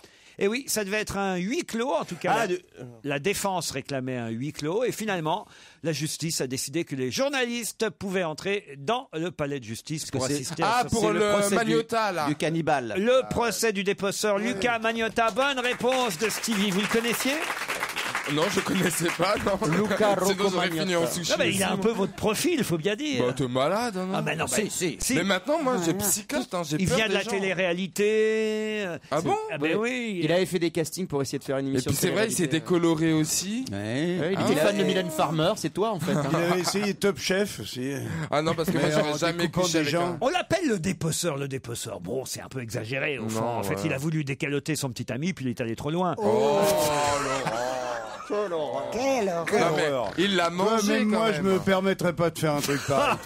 Vous avez vu ignoble. ce- cet autre procès aux États-Unis qui, qui fascine les Américains, ce policier qui essayait de vendre sa femme sur Internet pour euh, la faire violer et dépecer et manger. Ah oui? Il y a un procès aux États-Unis qui... qui Et sa, sa femme était au courant ou pas? Non, sa femme n'était pas au courant. Alors toute la question est de savoir, il ne l'a pas fait puisque Ah, sa il l'a femme pas est en- fait, non, il d'accord. ne l'a pas fait, mais il est quand même jugé actuellement parce qu'on estime qu'il est allé assez loin dans ses propositions et dans l'organisation de. Mais comment être jugé pour une pensée Alors, ou un fantasme c'est bien qu'on tout n'aurait le- peut-être jamais réalisé Voilà, c'est hein. exactement ce que dit la défense. Tu aimes ma la- femme? Oui, bah reprends-en. Alors que l'accusation. Ah, c'est euh, passionnant, c'est passionnant. c'est- Oui, c'est- ou les deux les cannibales. euh, qui- Il y en a un, il dit J'aime pas du tout ma belle-mère. L'autre, il dit ben, Mange au moins les carottes. Ben, on, on disait ça. que- Allez, une autre question. Qui est en colère contre la nouvelle règle des 25 secondes? Pardon. Les 25 secondes. Qui est en colère contre la nouvelle règle des C'est 25 sportif secondes? C'est pour les tennisman. Oui, Et allez-y. c'est le temps de taper la balle pour se préparer. Exact. Et ben, c'était C'est limité na- c'est- euh, à 25 secondes. Alors ça, Donc ça c'est être Nadal. C'est Nadal. Et c'est Raphaël Nadal. Bonne réponse de Ouais. Jean-Marie Bigard et des Partitoff. Et oui, oui, oui, la règle des 25 secondes qui avant existait mais n'était pas appliquée et désormais cette nouvelle application de la règle des 25 secondes ne plaît pas à Raphaël Nadal qui dit eh oui à cause de quelqu'un de pas très malin qui a décrété cette nouvelle règle qui selon moi est un désastre, eh bien euh, on va devoir se remettre plus vite en jeu. Et croyez-moi, ça va euh, euh, en fait faire que quand on est euh, fatigué, on ne fera pas de longs échanges. Comprenez ce que je veux dire? oui, tout à fait, ça, va, ça va donner un moins beau jeu, dit euh, Raphaël Mais Nadal. c'est normal, ça se comprend très bien. c'est vraiment crispant. Si tu n'as pas le temps de faire tap, tap, ah, tap dans la balle. non, non, mais là, attends, attends, c'est pas ça. Il faut pas tap tap, c'est très crispant. Lendl, je me souviens, il faisait tap tap, tap tap, tap tap tap tap tap tap. Entrée tap, tap, tap, tu vois, à chaque jeu. Ouais. Oh, tu dis, Ouais. vas-y, oh, envoie, joue, putain. Claude, vous ennuyez là. Non, mais je me suis en train de me demander, je vois, Oui. je vois que... Comment tu t'appelles, chérie Dou Oh là, elle est pas bien. Stevie, tu parles de Stevie là. De- de- Lucas C'est Magnotta. Stevie. Non, le Stevie, Stevie, il s'appelle Stevie. Il oui. boit, il boit de l'orangina. Oui. Et Et, alors je voudrais me demander si, si c'était light aussi, il y avait du sucre dedans. Non, il y a du sucre, Babou, Ah. mais il y a de l'orangina light. A- ici, dans la maison, Ah, avec- je sais pas, ma Babou. Peut-être. Tu veux que quelqu'un aille en ça me chercher ferait très envie. Vous avez vu comment elle le dit maintenant C'est comme Ah, une mais petite ça- fille. oui. J'en ai très très envie. Est-ce que Claude, tu es toujours d'accord pour ce qu'on avait dit il y a quelques jours, qu'on allait organiser une, une teuf Oui, chez toi oui, mais je vous attends. Il A- faut- Anaïs, ma compagne, est prête à organiser cette teuf. Mais je l'attends. Et Stevie est prêt à tout redécorer comme dans sa discothèque. Ah Et Pierre Bénichou amènera ses clous. C'est pour ça que je vous laisse une- Ah non mais on est d'accord, mais il faut que vous préveniez les voisins parce qu'on va faire du bruit. Ah, moi hein. je vais chanter, attention. On transforme ça en, en méga discothèque. Alors, on va, comme je peux pas aller, parce qu'il ne m'a pas invité, de toute façon, Laurent veut pas que j'y aille. À C'est l'inauguration pas que je de veux sa pas boîte. que vous y alliez, mais on a décidé qu'on ferait une soirée, on va se gêner dans la boîte de Stevie le 30 avril prochain. Ah. Mais Claude, franchement, vous n'allez pas, alors que vous avez du mal à vous déplacer, aller jusqu'au Mans, dans une discothèque noire avec du bruit, de la danse, des... des qu'est-ce Elle est sourde, c'est pas grave. Euh, non, Mais attends, Bon, Claude, com- combien de personnes, non mais sérieusement, combien de personnes, combien d'amis tu veux inviter à peu mais je près à ne la sais pas maison tout ce Combien- que tu veux, mais Non, il non, faut pas que tu tout. viennes, que tu comptes. Mais je- Non, mais c'est grand occupe. chez toi, Babou Oh, il y a, Il y a le quand- bureau il faudrait de le C'est faire assez avant la grand fin quand même, mars. c'est assez grand. Il y a bien, allez, 6-7 personnes qui peuvent rentrer. Oh non Oh, c'est Il y a un problème de fenêtre, il paraît. On invite, C'est un peu sombre. Tu veux Il y a qu'on invite une vingtaine de une vingtaine d'amis Oh, Oui, au moins. Où est-ce qu'on va mettre les vêtements Ah, très, dans la lingerie. Dans la lingerie. Non, écoutez, mes chéris, moi, je serais très, très, très heureuse. 20 personnes à regarder un documentaire sur les animaux, on va se faire chier. Ah, S'il y a des coups bleus, moi. Quel, quel est le bon jour de la semaine pour vous, Laurent Vous voulez Non, mais écoutez, on va peut-être pas faire ça en Si, si, direct va sur régler ça. l'antenne. Si, si, si, si. Comme ça, vous êtes engagés. Ah, mais non, enfin. tiens. Vous êtes libres tous le lundi, même ceux qui jouent au théâtre, ils sont Alors, libres on- le lundi. Oui, c'est vrai que le lundi soir, c'est ce qu'il y a de mieux. hein. Ben voilà. Alors on le fait, on Quitte le à fait le faire lundi chier. 25.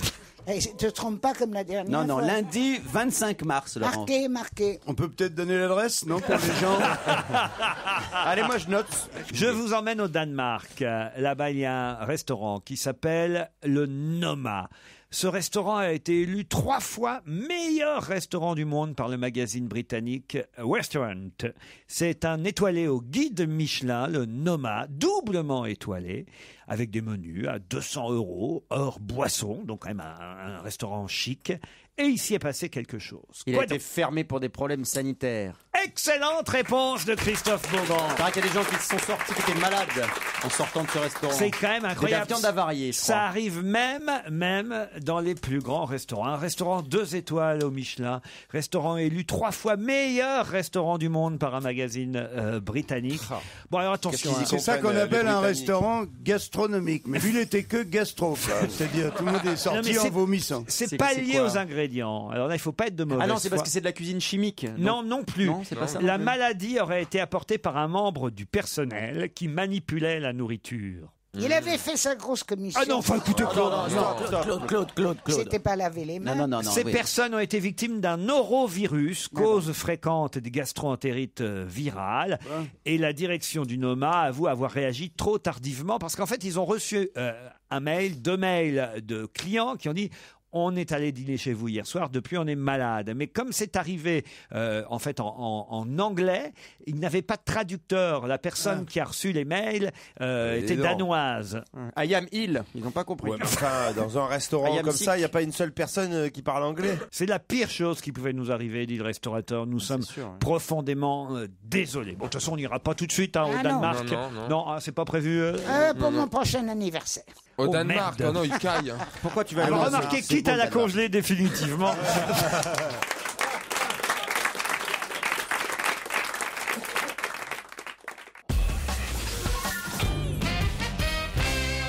Elle a 24 ans, elle a fait la une du Parisien samedi dernier. Et depuis, depuis, depuis, le Parisien a été obligé de publier un rectificatif. C'est une Oh, femme qui je a sais raconté. qui c'est. Ah bah je vais Ah non, laisser, c'est je vais moi. laisser dire Claude ah alors. oui, c'est moi, c'est moi. Vas-y, Claude, vas-y. Et Une énorme dame avec d'énormes mamelles qu'on a vu en première page, mais énorme.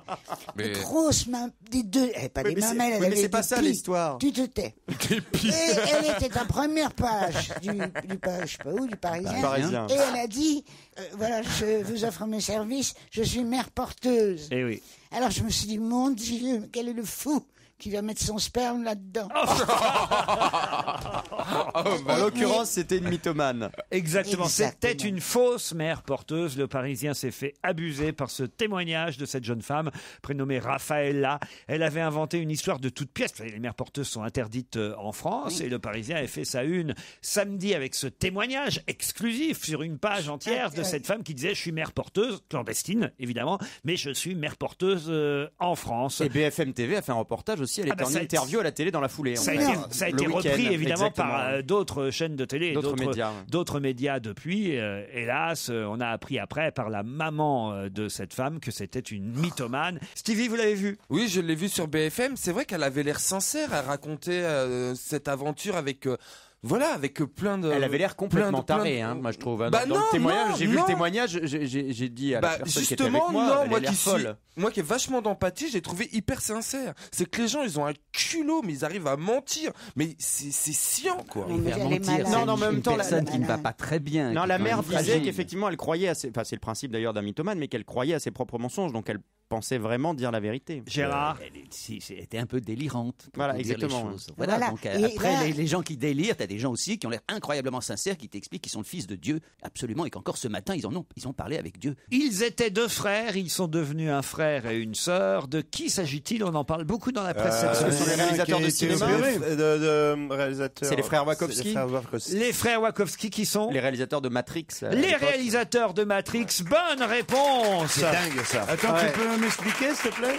Les réalisateurs de Matrix. Ça fait Ils étaient deux, Pardon, pardon, ils mais étaient ça deux fait- frères. Ça fait euh, quelques temps ça fait qu'il un sait moment, qu'il a ouais. la transformation a eu lieu il y a au moins trois ans, je crois. trois ou quatre ans. Larry et Andy. Eh bien, Larry est devenu Lana. Désormais, c'est Andy et euh, Lana Mais elle, Wachowski. elle est pas très jolie quand même. Euh, le frère d'Andy a changé de sexe et a Ouais. décidé de le faire savoir. Pour l'instant, c'était pas aussi Ah, connu. Il, il était sorti Non, quand si, même. si, si, euh, c'était connu. euh. Ah, Enfin là, avec la sortie du film cette Ah semaine, oui, parce voilà, que Ah, oui. il y a un nouveau film euh, des. Alors je sais pas comment on peut dire maintenant, on peut plus dire Des des, frères et sœurs. euh, des frères et sœurs. Alors de, la, de la paire.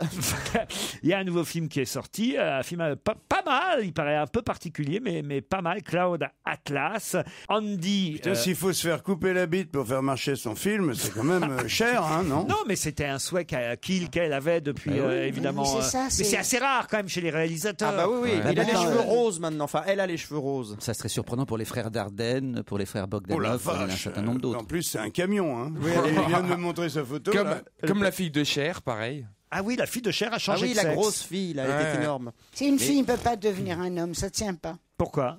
Parce que c'est comme ça, c'est c'est scientifique. c'est Mais la quoi? scientifique. Mais bien sûr La que si. greffe, tu peux pas greffer, Si. fabriquer. Mais, Tu c'est peux pas greffer quoi alors Ça, ça marche pas, Mais ça si. se redresse pas. Non, tu Alors, dis que je, non. je vais te dire que c'est tout- absolument faux. C'est-à-dire, Pour le coup, ce qui se passe sexuellement, c'est qu'avant, effectivement, on, on- on avait pour les pénis des difficultés p- pour l'érection.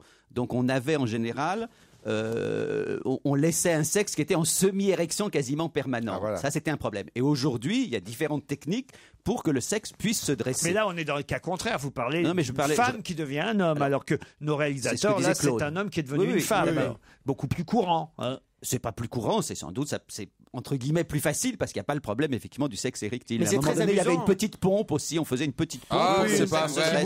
si, une petite bombe qui Voilà. gonfle un Qui truc gonflait, qui à voilà. l'intérieur. Non mais c'est très amusant comment ils, recon- ils construisent un, un- un vagin pour les transsexuels. Oui, c'est c'est très rigolo. En fait, ils, ils découpent le, le sexe en quatre comme une banane un petit peu qu'on épluche. Oui, c'est ils font un trou, ils le mettent à l'intérieur pour qu'il y ait- il puisse y avoir euh, les, cellules Les du gland qui puissent euh, quand même euh, avoir un Mais ressenti êtes de plaisir.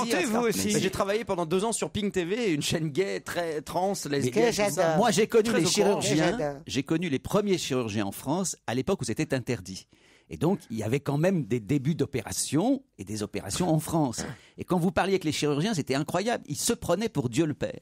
Aujourd'hui, je Ah suppose oui, que c'est ils plus créent, Ils oui, avaient le sentiment sûr. de recréer un être humain. C'était Frankenstein. Quoi. Alors à la fois, c'était des gens très respectables et qui soulageaient des souffrances, mais en même temps, c'était étonnant de voir leur fascination de créer un autre être humain. Si on leur donnait Claude, peut-être qu'il pourrait nous faire deux jeunes à la place d'une Ah, vieille. ce que ce serait bien. Hein ça, ce serait formidable. Ça, ce que j'aimerais qu'on me rende mes jambes. Mais on peut te les rendre. Ben, si j'avais vos jambes, qu'est-ce que je serais contente? Mon rêve, vous savez, c'est quoi? C'est pas beaucoup. Descendre un escalier sans me tenir à rien. Bah oui. Ah bah essayez. Adieu Claude. Jake Bug, il a 19 ans, c'est le nouveau chanteur à la mode. Il est britannique et il nous chante Two Fingers, deux doigts. Europe 1, on va se gêner. Do, ré, mi, fa, si. Do, ré, mi, fa, si. Liado. Bonjour Serge. Bonjour Laurent, salut les collègues, bisous Claude. Bisous, mon chouchou. Vous vous souvenez de Serge Liado? Mais naturellement. Qu'est-ce qu'il fait dans l'émission Serge Liado Eh ben, il Je fait des teste trucs- la mémoire de Claude. hein. On m'a demandé, Alors c'est là, ses médecins je- qui m'ont c'est- demandé. C'est c'est l'occasion pour moi d'aller faire pipi quand il parle. Voilà, Elle se j'ai- souvient bien, J'ai hein. une fonction dans l'émission. Serge. Ah non, c'est agréable. Serge. Pas une Oui, fonction, Claude. une fonction Serge, rénale. Parce que Oui. tu sais, je c'est connais pas rien à la musique. Et, j'attends, j'attends que tu viennes. Mais là, que c'est tu pas de la musique. pas de la musique, justement. Claude. C'est Tu un bêtisier. Oui, mais aujourd'hui. c'est pareil, je sais pas jamais répondre. Et je voudrais bien que tu commences vite parce que moi ça presse. Non, mais là, il n'y a rien à répondre, Claude. Il n'y a rien à répondre, c'est un bêtisier. Des lapsus, des bafouillages, des Voilà. incidents d'antenne. C'est l'assortiment habituel, mais le contenu est toujours renouvelé. Et je remercie bien sûr les grandes chaînes de télé et puis les radios Europe 1, ah Europe 1, Énergie et mes compatriotes de France Bleu Héros. Voici le bêtisier de la semaine. Benoît XVI, autant euh, ses débuts avaient été euh, absolument triomphants, euh, triomphal, pardon, euh, triomphaux. euh, euh, Merci et bravo beaucoup. Si on parle de lui aujourd'hui, c'est d'une certaine façon pour lui rendre hommage, puisqu'il est décédé au mois de décembre dernier, à l'âge de 104 ans, et il était très actif professionnellement encore jusqu'à la fin de sa mort. Un amendement socialiste pour euh, taxer rétroactivement les heures supplémentaires qui sera euh, normalement débattu d'ailleurs cet après-midi par les, les députés. les députés. 158 500 km entre euh, 150 158 500 150 158 km 500 entre Samatan et Pau, c'est le menu de la 15e étape du Tour de France. Je voudrais également vous signaler la septième fête occitano-brésilienne. C'est à Montpellier que ça se passe. Ça débute à 17h sur la place Max Roupette, euh, Rou- Rouquette, au parking des Arceaux, avec des jeux, des ateliers pour enfants. Les avocats de l'accusatrice de de DSK ont dénoncé l'abandon des poursuites. Olivier, on imagine évidemment que euh, la question de Dominique Strauss-Kahn sera euh, dans toutes les bouches, en tout cas certainement euh, dans toutes les têtes. Dominique Strauss-Kahn sera fixé sur son corps mardi. Sur, son, sort, pardon. Il pourrait bénéficier d'un non-lieu. Je vous propose tous de prendre un café pour nous réveiller, hein, ce qui est visiblement tout à fait le cas. Ça nous fera du bien. Aujourd'hui, euh, sur Europe entre 15h30 et 18h, Christine Laurent sera entourée de qui Euh, De Pierre Bénichou, Michel Bernier, Judith Magré. euh, Judith Magre. Magre, pardon. Ah ouais, c'est des canards, enfin, bouffe quand même. Judith Magret, non mais ça, franchement, alors ça... C'est le sud-ouest qui remonte. Voilà. hein. Christine Peña, dans Eh ses ouais, œuvres. Bonjour Marie, Marie. qui s'installe, allez-y, prenez votre temps, tout va bien. Eh Bah ben oui, oui, on va parler Bah, cinéma. Je dis, j'ai un peu stressé parce que. Qu'est-ce qui vous arrive Non mais non, mais parce que tu sais, ils me prennent la tête avec faut vérifier dans le conducteur, etc. Bon. Tout va bien Donc j'ai vérifié dans le conducteur, putain rien. Allô Donc, Je me bon, dis, c'est un piège, tu Mais vois. là, ça va marcher. Donc euh, ouais, donc je me dis c'est un piège, c'est un Ouais. truc ils ont ils ont essayé donc Bon. et là je stresse parce que je suis incapable de retrouver les trucs. On, on est à et en fait je hein. découvre. On est à l'antenne, Marie. Je commençais à me demander si c'était. Non, non, on est à l'antenne. Tout va bien. Vous avez vos éléments, donc on Ok d'accord. Donc j'ai tous mes éléments, tout va bien. Et aujourd'hui, une fois n'est pas coutume, le mardi, on parle de cinéma. mais c'est bien de prendre de l'avance. Non mais si vous rigolez, alors moi, je, moi je ne peux pas. Moi si vous rigolez. Allez-y. Avec Julie. Petite musique de circonstance. Quelle serait la plus belle mort pour mourir? Suis pas être sérieuse, moi, c'est catastrophique. Le lendemain, un orage éclata sur le tout petit royaume. Un orage terrible, fracassant. Vous avez entendu? C'est ton ventre C'est ton ventre. Oui. Incroyable. Je fais du doublage et du bruitage en même temps. Qu'aimerait-il que vous fassiez plus souvent Eh ben, moi, il voudrait toujours que je sois prêt comme euh, il monte. Vous savez, comme il a envie. Attendez. Oui. Parce que des On fois, il, dit- attend. il me dit, tiens, Lynn, elle monte. Parce que il l'appelle, il l'appelle Lynn. Oui. Vous savez pourquoi? Non Parce que Lynn est branlable. Monsieur, messieurs, dames, je suis battu sur mon terrain. Petite devinette, vous savez comment ça s'appelle quand un cheval fait une petite gâterie à une vache Un- un- Non Des lasagnes Non. C'est un cunifindus. Ça, c'est Michel Simès dans ses œuvres, Oh là là évidemment. là On a bien aimé la place Roupette, nous. Oui, oui. Elle est très connue à Montpellier. Et la question de DSK sera dans toutes, les, bouches. On ne peut quand même pas expliquer tous les lapsus, là, Gérard. Vous êtes d'accord? Le psy arrive toujours à les expliquer? Oui, mais enfin, c'est pas forcément des choses extrêmement compliquées à Tu expliquer. sais, du moment qu'on le paye, hein, euh, il t'explique n'importe quoi. lui, hein. Veux, Judith Magret, je te l'explique. hein. Ah oui, pourquoi ouais, non, mais Je ne sais pas. Il faudrait voir qu'est-ce qu'elle a mangé à midi. mais peu importe. Elle est du sud-ouest, À oui. cause des Et- lèvres. et DSQ Oui, DSQ. DSQ, c'est pas Sur mal. DSK, il y en a des tonnes. De... Ah, il y en a, mais c'est étonnant. c'est chaque fois des lapsus Ah en oui, plus. Il euh, est en rute vers le tribunal, je l'adore. Son corps, son corps au lieu Ah du oui, sol. non, ça, on voit quand même que. Merci Serge Liado. Dans un instant, on se retrouve pour le deuxième challenge du jour, après les infos de 17h. Europe 1, on va se gêner. Jean-Marie Bigard, Claude Sarraud, Gérard Miller, Titoff, Christophe Beaugrand et Stevie Boulet sont avec vous une heure encore et on va faire connaissance maintenant avec Diane et Alexandre. Oui, Bonjour très Diane. envie, moi. Bonjour. Bonjour, Alexandre. Bonjour Diane. Bonjour. Ça va? Oui, tu vas bien? Oui, tout va bien. Enfin, Gérard, arrêtez. Tu as quel âge, Diane Je fête mes 8 ans et demi demain. Mais vous vous connaissez Mais oui. Bah, Diane, tu me peux. Il aime bien faire la petite fille, Gérard. Oui, c'est un fantasme. J'ai pas eu l'occasion de le faire dans cette émission. Diane, que faites-vous dans la vie? Vous êtes à Paris en tout cas. Oui, je suis à Paris et je suis secrétaire libérale. Ah, Libéral et libertine, peut-être. Mm, Non, non, non. Ça va pas. Mais enfin, Gérard. Mais non, mais je ne sais pas. Je suis une jeune maman, un peu de respect quand même. Ah. Et alors hier soir, comment ça s'est passé chez vous Euh, donc hier soir c'était révision et puis euh, et puis en- Révision pour nous, révision? Bah oui. Ah, bien, bien, sérieuse. Qu'est-ce que vous avez dîné? Vous avez mangé quoi hier soir? Euh, hier soir j'ai mangé un poulet au curry avec du riz. C'est pas mal ça, dites donc. Bah oui. Et Alexandre, lui, à Saint-Mandé, il est pas très loin finalement. Qu'est-ce qu'il a fait hier soir, Alexandre? Bonjour, bah, moi hier Bonjour. j'avais un cours, donc j'ai fini tard. Ah oui Vous avez une jolie voix, Alexandre. Vous êtes rentré vers quelle heure, Alexandre? Vers 10h30 Ah oui, quand même, 22h30. Ouais, Et alors là, à 22h30, il n'y avait plus rien à manger à la maison. exactement. Non, j'avais- on m'a laissé un peu de pâtes. À qui on? Euh, ma- mes parents Vos parents Et mes frères. Ah, et vos Ah. frères. Ah, il y a combien de monde dans la famille? Ah, beaucoup. J'ai cinq frères. Cinq frères Ah, là le là, bonheur. Dites donc Oh Bah non, mais c'est mon rêve d'avoir des frères. Ça doit être impressionnant, une famille de cinq frères. Non, non, Ouais, c'est c'est très sympa. Et vous Ouais. faites quoi alors comme étude Euh, je suis en médecine. Médecine. Ah, oui, eh oui. Et, et les parents, donc, euh, évidemment, financent les études. Voilà. Mais ils ont les cinq à la maison encore Euh, non, il y en a un qui est parti. Ah, voilà. Quatre alors. Enfin, S'il a cinq frères, il a donc, ils sont six à la maison, vous voyez Oui, mais ils auraient pu déjà, pour certains, quitter le domicile parental. Non, ce sont tous des tanguis en quelque sorte. Exactement. Bon. Alexandre, Diane, vous allez peut-être euh, partir le temps d'un week-end dans un petit village comtois de la vallée du Doubs.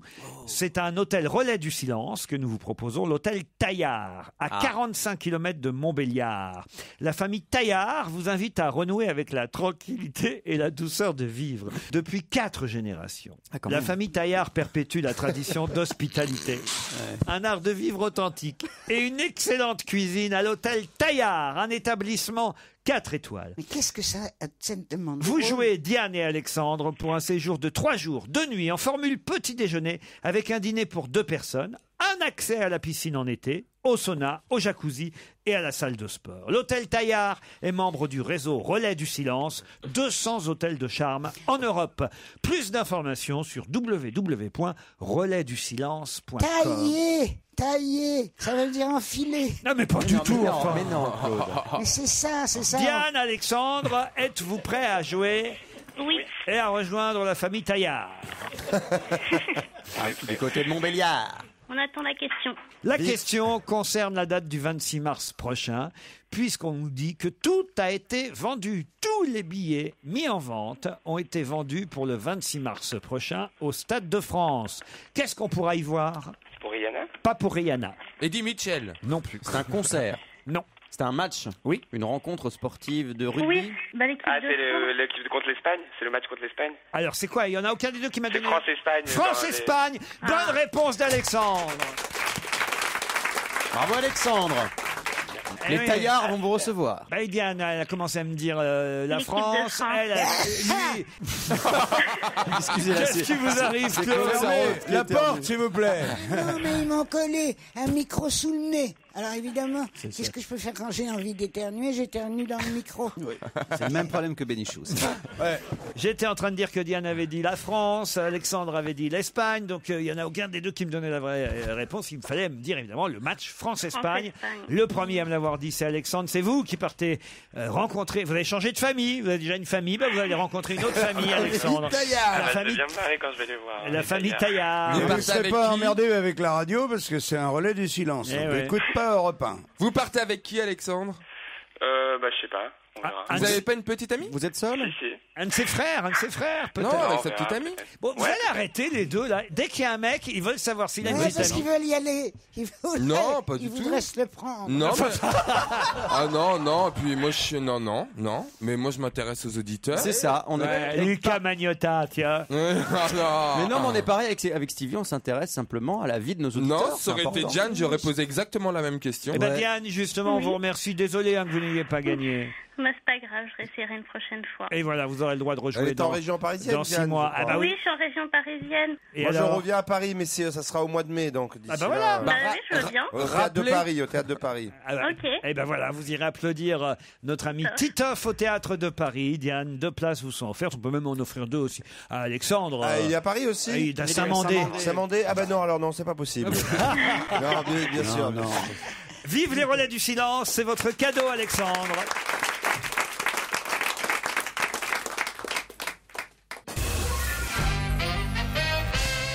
Elle a fait 38 fois le tour de la Terre. Et lui, elle lui a dit, je vais te battre, tu seras deuxième. Moi, je l'ai déjà fait 9 fois et je risque de battre ton record de 38 fois.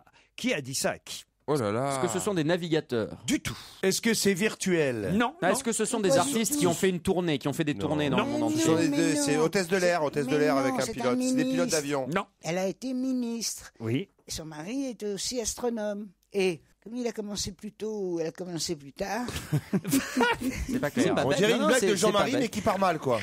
il lui a dit Ouais. je, je vais te rattraper, puisque moi j'ai encore plus de temps que toi à tourner autour de la Terre. Eh bien, ce n'est pas ça. Ah, c'est euh, c'est Christine Lagarde à DSK, non? Non, mais on se rapproche. C'est Ah, Fabius. c'est du cochon. C'est- Fabius. Fabius. Fabius à ministre des Kouchner. Affaires étrangères. à C'est Kouchner. Laurent Fabius qui a dit ça à qui? À. Kouchner Non, puisque c'est une femme, l'autre. Ah, pardon. Ah bah Christine... O- Ah bah non. Ben non, c'est Fabius qui l'a dit à une. il Elle y a pas elle est dans le gouvernement, la femme, en ce moment aussi Elle n'est pas au gouvernement. Lui, Ministre de droite Michel Alliot-Marie non, lui, dis-moi, j'entame mon neuvième tour du monde. Et elle dit, moi, j'ai fait 38 fois le tour de la Terre. Elle dit, je vais te battre. Ségolène Royal Toi, t'as non. mis 4 ans pour faire 38 fois le tour de la Terre. Moi, en moins d'un an. Ah bah Michel Alliot-Marie Non. Ah, c'est- je viens de Moi, le en dire. moins d'un an, je l'ai mis, euh, je l'ai fait 9 fois. Mais c'est une ancienne Donc ministre. Fabius, on a trouvé, et c'est une ancienne ministre C'est une ancienne ministre. Pas sous Sarkozy. C'était à l'époque de Nicolas Sarkozy, oui. Est-ce que c'est une belle femme Oh, ça a été une belle femme, là. Elle est un peu euh, Vieille. refaite, on va dire. Refaite Ah, refaite carrément. Ah ouais, ouais, ouais. Ah merde, il faut. Non, dire elle est plus très jojo, toutes pour les tout vous dire. quand même. Et elle a été ministre de Sarkozy. Non, elle est même moche maintenant, on peut dire. Valérie P- euh, Pécresse. Ah, il va y arriver. Non, non, elle est jolie, Alors, Pécresse. tu veux qu'on balance sur toutes les Elle femmes est- de elle est- C'est gentil parce que t'as pris un peu de temps, t'as mis 3-4 étapes, c'est bon quoi. Finalement, C'est- moche. Elle a été c'était- ministre. Ça aurait été très dur de Roselyne dire elle est moche. Non, mais je m'en fiche, de toute façon, elle ne nous écoute pas. Pourquoi? Elle, elle Elle est n'aime pas morte. l'émission? Non, non, Ah, elle, est morte. Bah non, Mais- si elle est morte, euh, euh, Fabius lui aurait pas dit, tu sais. Oui, si, ça aurait été facile. Sur sa tombe, il serait Comment tu sais qu'elle t'écoute pas d'abord Ben, ben, parce que je le sais. Elle a- Donc, elle l'a Les amis quand même qui Laurent, nous est-ce qu'elle a été ministre de Sarkozy? Oui. Non. Ah, pas de Sarkozy. J'ai jamais dit ça. Ah, Vous d'accord. m'avez demandé. À est-ce l'époque que- de Sarkozy. Elle a été ministre à l'époque de Sarkozy? Je Ah, vous en même temps que Sarkozy quand il était ministre Non. Ça veut dire C'était quoi sous À l'époque Sarkozy, de. Sarkozy? Ah, pas en France, Angela Merkel. Non, pas Madame Merkel. Ah, ah, ah, Mais Mais qui c'est? Alors donc c'est euh, c'est- euh, la- de la reine d'Angleterre. Non plus. Hillary Ah, non. Clinton. Madame Clinton. Elle est retapée. De Michelle Madame Obama. Clinton. Bah non, Madame Clinton. Hillary Clinton, bonne réponse de Christophe Beaugrand. Bravo, bravo. C'est moi qui parle parfois avec ma voix. Excuse-moi. Gérard qui a donné la De bonne temps en temps, je, je peux parler. Merde alors. Alors ça, Je peux, c'est je peux trop dire fort. aussi des choses. Tu, et, et- J'ai rien dit, moi, non, c'est ça. tu Et parles maintenant, comme il faut- ça. Non, non, pour que. je- on- alors, je vais dire des choses que tu pourras pas répéter. Mais la, c'est pas ma faute. la vérité est toujours posthume à la réalité dont elle élucide le sens. Vas-y, imite-moi maintenant. La hein. vérité est toujours posthume à la réalité dont elle lucide le sens. Gilles. Mais je vous jure que j'ai cru que c'était lui. Moi aussi. Non, non, je suis désolé. Hillary Clinton a fait le tour du monde, hein, de la Terre, dit-elle même, 38 fois, quand elle était évidemment secrétaire d'État américaine aux affaires étrangères. 1 530 772 kilomètres. Ah, je te dis pas les, les points, les points cadeaux miles qu'elle doit avoir. En 4 ans. Et c'est vrai qu'elle est plus terrible. hein. Physiquement, elle est quand même assez laide. hein, Ah, maintenant, c'est hein. terrible. Oh hein. non. On Non, dirait elle est- un vieux bulldog. Elle est très abîmée maintenant. Mais non, vous êtes bête. C'est parce que. Vous parlez de Mais la non, future. C'est pas du tout ça. Au contraire, elle serait très très bien. Mais elle ne se laisse pas vieillir. Elle a des cheveux teints en blond, coupés, je sais pas comment. Si elle se laissait aller, elle serait très très bien. Ah comme, oui. Comme moi. Ah bah, Et- mais ça et promet. Vous parlez de la future présidente des États-Unis. Et alors Je vais me gêner. Non, après Et quand il s'agissait de. Reagan, tu en disais, tu en disais pire, toi. Bruno Mars est sur Europe 1 avec un extrait de son album Unorthodox Jukebox. 99 ans, elle règne sur une tribu d'artistes. C'est le magazine euh, Gala qui nous la présentait avec autour d'elle ses trois petits-enfants et euh, sa belle-fille, son fils, ses quatre arrière-petits-enfants. 99 ans, elle a euh, toute sa tête, on la voit dans Gala. Mais de qui s'agit-il puisqu'elle écrit avec une de ses euh, petites filles, elle écrit à quatre mains avec sa petite fille Céline son journal. De qui s'agit-il? Madame Picasso? Madame Picasso Non. Barbara Elle est Cartland morte. Elle s'est suicidée. Est-ce que c'est une française? C'est une Française. Une Française. Comédienne? Comédienne Non. Chanteuse? Non. É- Elle écrivait- Écrivaine? Non plus. Je Journaliste sais pas, elle jouait au sudoku Non, mais enfin, elle est écrivaine dans le sens où bien qu'elle elle, s'occupe. elle- elle vient d'écrire un livre. Est-ce que c'est le monde du cirque? Non. Mais si on la, si on la connaît, nous, c'est pour une activité. On la connaît. On elle la, est connue. on la connaît, avec toute sa famille. On Télé- la connaît moins bien que... que... Ses enfants? Non. Ses petits-enfants? Non. Ses son mari. arrière-petits-enfants? Non. Son mari? Que son mari. Ah, pardon. Il est mort, son mari? Qu'est-ce qu'il y a de drôle, Claude? Et il décline. Il est moins bien que ses enfants. Non. Même que ses petits-enfants. Non. Même que ses arrière-petits-enfants. Non. Moins que ses arrière Ça vous fait rire, ça. Vous avez bien fait de venir. Elle est bon public quand même, hein, finalement. Alors, Bon, son mari est toujours vivant Avec sa non non non avec sa petite fille Céline, ils ont écrit à quatre mains leur journal intime. Les Bettencourt Non. Elle raconte la vie de son mari Elle raconte euh, sa vie à elle, un peu celle de son mari évidemment.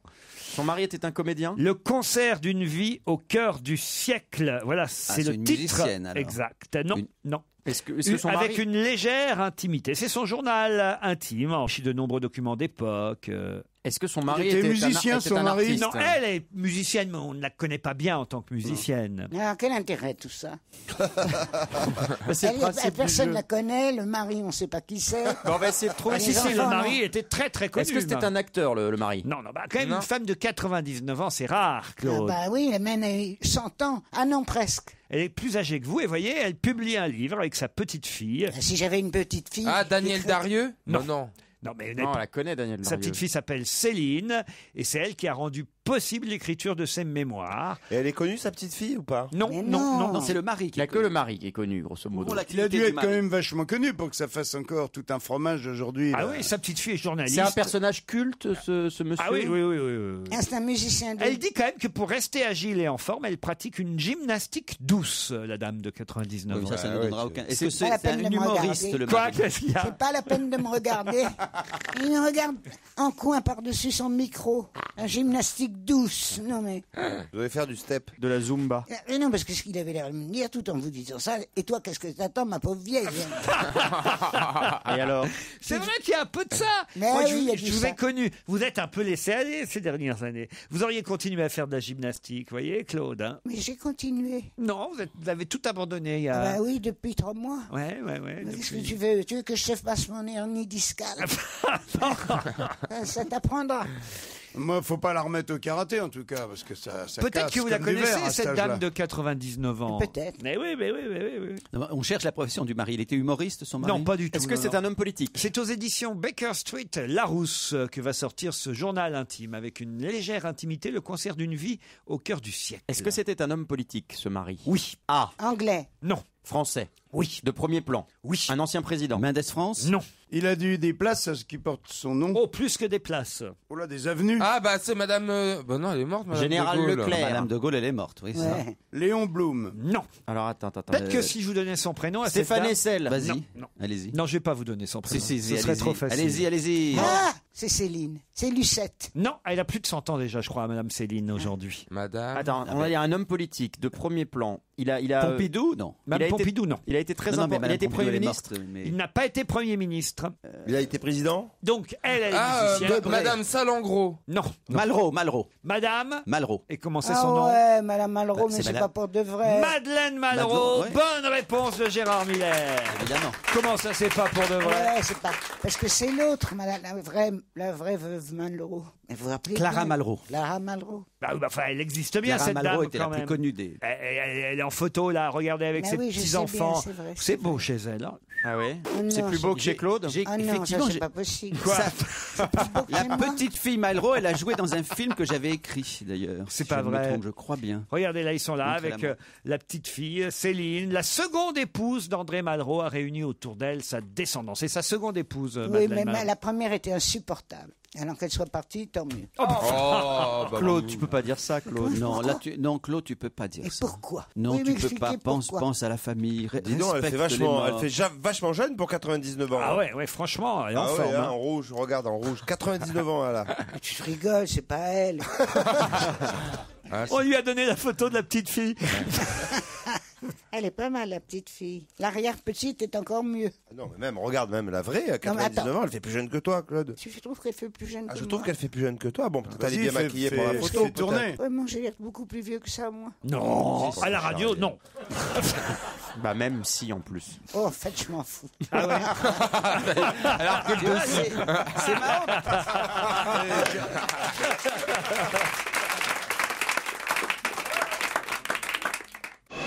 Europe 1, on va se gêner.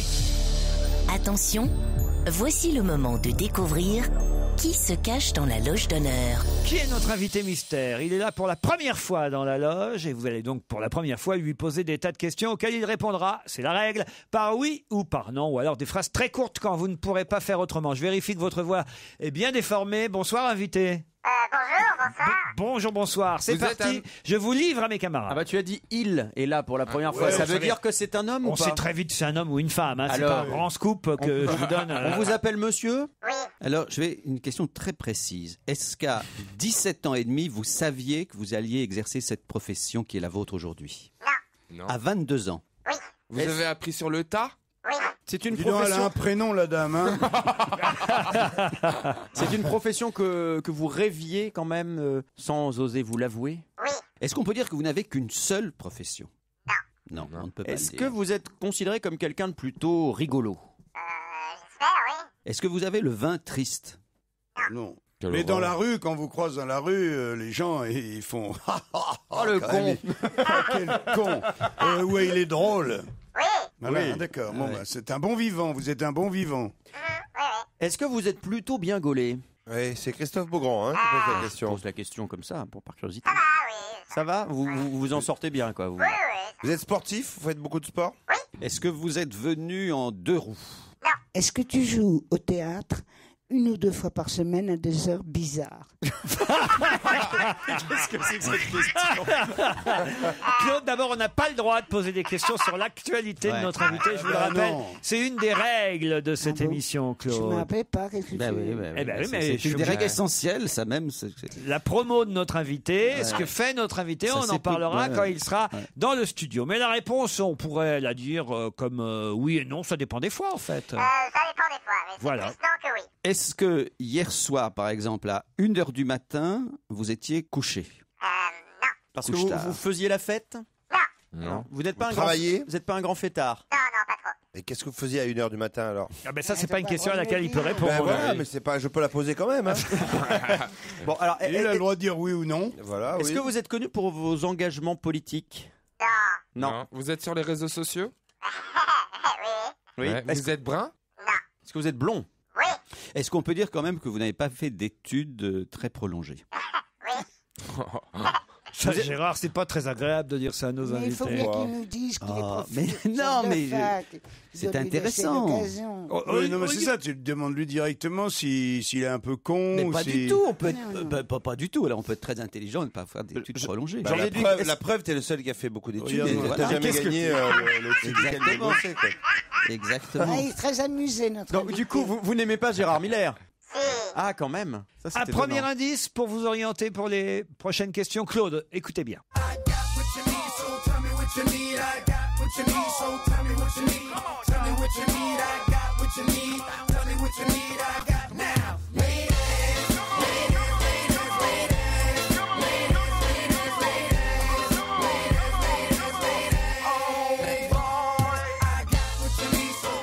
C'est pas mal comme indice. Euh, Vous l'avez reconnu cette chanson, invité Bien sûr, oui. Ouais, bien sûr. Mes camarades n'ont pas l'air de l'avoir reconnu pour autant, eux.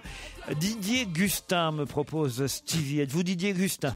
Non. Est-ce que dans votre activité, vous avez l'habitude de danser parfois? Non, mais je peux, ouais. Ça lui arrive, mais c'est pas son métier. Est-ce que lorsque vous exercez votre métier, euh, il y a beaucoup de gens autour de vous? Enfin, qui contribuent à l'exercice de ce métier. Pourquoi vous riez, Stevie Et question de Gérard, quand, il- s'il est dans la loge d'honneur, à un moment, il est forcément confronté au public. Non, mais je parlais pas Mais du non. public, je parlais des gens. Est- Est-ce que c'est un artiste de scène ou de, ou de cinéma Là, tu es très entouré. Écoute, tu es trop bête, toi mais voilà, aussi. tu es trop bête. Heureusement qu'il toi, t'es Claude. trop mauvaise. Non, mais ce que veut dire Stevie, c'est que souvent, quand on fait ce métier, qu'on est connu, on, on croise beaucoup de monde. Non, mais c'est pas ça du tout ma non, question. Là, je défends Stevie, mais je vais défendre Gérard. Si vous êtes écrivain, vous n'êtes pas entouré quand vous travaillez. C'est par vrai, il y a exemple. des exceptions, oui. Oh là là, il faut prendre la défense de tout le monde ici. Quel boulot C'est terrible. Euh, Est-ce que vous avez d'ailleurs euh, écrit dans votre vie plus que 10 pages? Oui, vous avez déjà été puni à l'école, c'est ça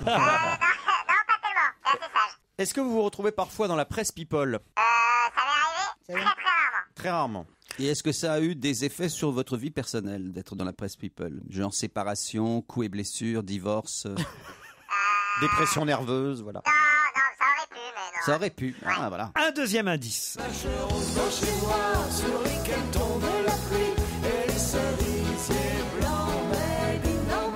Réfléchissez bien, des nouvelles questions après la pub.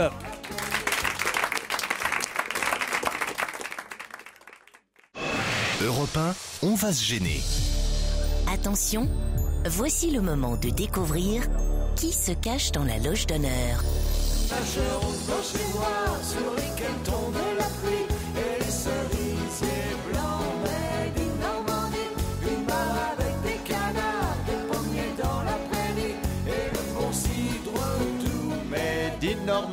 Ça fait chanter Christophe Beaugrand, c'est déjà ça. Est-ce que ça va vous mettre sur la piste Un petit village plein d'amis. Vous avez une maison en toit de chaume Ça, c'est un super indice. Est-ce que vous, vous avez vécu en Normandie? Oui, évidemment, vous aurez compris que notre invité est d'origine normande. Ah, ça aurait pu Parfois, être les indices, faut pas les chercher plus Ah, mais loin. ça aurait pu être Stone. et peut- Est-ce que vous êtes complètement Stone, tu vois, par exemple Ah oui, non. Jean-Paul Rouve propose Gérard Miller. Euh, Êtes-vous Jean-Paul j'y Rouve pense. Euh, C'était pas Est-ce que vous avez un public plutôt jeune? Eh, dis donc, dis donc, est-ce que tu passes à la télé? Euh, oui, oui, oui. Alors, Stevie propose Alex Lutz, et non pas Kutz, hein, comme vous l'avez écrit. C'est- Cette émission, c'est une leçon d'humilité pour la plupart des invités, parce que euh, là, Alex Kutz, c'est quand même pas mal, hein, Stevie. Lutz, Lutz. Lutz, Lutz, Vous Lutz. n'êtes pas Alex Lutz? Non. Non. Est-ce que vous le connaissez? Ah ouais, il est pas mal en plus ce petit. Non, enfin, Mais non, mais euh, j'adore. Il a un beau cul dessus. Écoutez, arrêtez. Oui, franchement. Ah non, mais ils sont Vous- excités, ces Vous deux-là. nous mettez mal à l'aise. hein, non, Moi, je vais les envoyer, je vais les envoyer sur fréquence gay, ces deux-là. C'est pas possible. ça existe plus. Tu fais bien, là, parce que là, je trouve d'un qu'il... mec. Non, là, il pousse. Moi, je croyais que pendant que j'étais malade, ce serait, ce se serait un, peu, bah calmé. Ah vous revenez ici, c'est la cage aux folles. Non, Non, non, Ah, franchement, je suis d'accord, moi je suis d'accord. n'importe quoi. C'est vrai, bien. on peut reprendre le. On peut rester entre hétéros, merde Quoi, merde. Bon, c'est Titoff. Euh, Est-ce que vous portez des slips moulants Est-ce que vous avez une femme Une compagne. Est-ce que c'est de notoriété publique Tu aimes le cuir Ça, ça, c'est Bigard. hein, c'est Jean-Marie Bigard. on, va, on va aller dans ce registre. Jean-Marie, Est-ce que mais Jean-Marie. Tu aimes les films de gladiateurs Allez, un autre indice. Une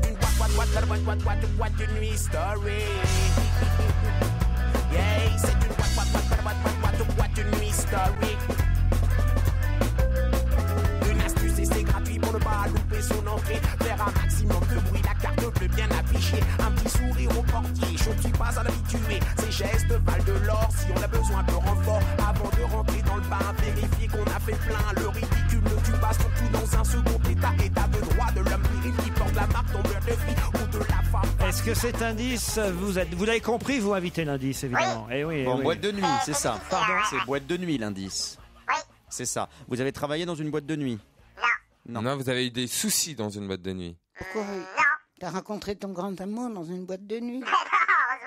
Est-ce que vous rencontrez votre public dans les boîtes de nuit? Est-ce qu'on passe euh, mettons, vos chansons dans les boîtes de nuit? Mais il- Est-ce qu'on il vous a répondu. refusé l'accès à une boîte Mais de nuit? il a dit...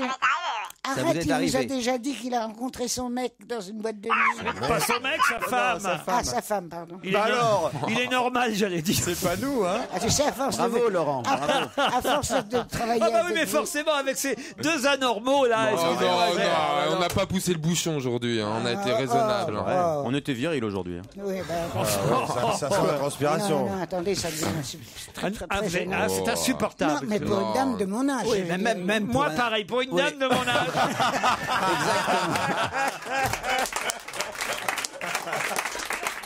Bon, alors, Vraiment. soyons sérieux. Ah, On n'a pas trou- on n'a toujours pas trouvé l'activité principale de notre invité. en même Non, temps, hein. d'ailleurs, euh, notre ami Jean-Marie Bigard, qui est malin, il se dit blond. hein. Mais oui, c'est blond, moi, qui me pose problème. avec une Discothèque. compagne discothèque qui propose David Guetta. Ah oui, oui. Êtes-vous Oui. David Guetta? Non. Bon, alors, euh, est-ce que votre activité principale, vous l'exercez sur une scène? Oui. De théâtre? Oui. Vous ne chantez pas Non. Bon. Voici un indice de plus.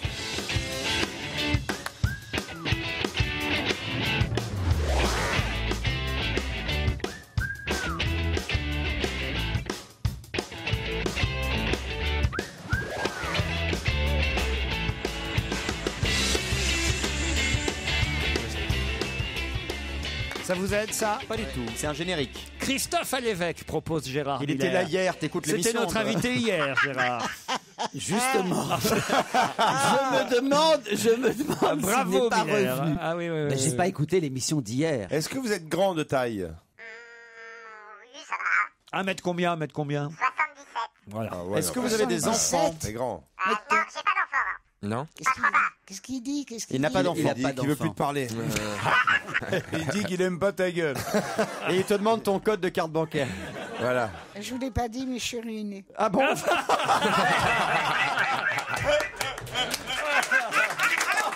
Oh, bon, bah alors, on annule la fête. Alors on annule la on fête. annule la fête, là, c'est Vous pas la ne nous intéressez plus, Tu te Claude. débrouilles pour aller aux toilettes, tu te débrouilles toute seule maintenant. Vous ok pourrez virer la vieille dame là, s'il vous plaît. Qu'est-ce que vous foutez là alors Sécurité, Cinq sécurité. fois que je lui enlève sa veste, que je lui remets la- sa veste pendant Voilà, l'émission. qui vous a ruiné, Claude? La vie. Et surtout, je peux plus avoir de cadeaux, quoi. J'ai plus, j'ai plus- pourtant, On est, on est toujours là, j'ai invité plus de mystère. revenus. Hein. Pourtant, tu, tu, On, euh, on s'occupe une petite thérapie à la, à la vieille dame et puis on vous reprend tout de suite après. hein. Avant, je recevais.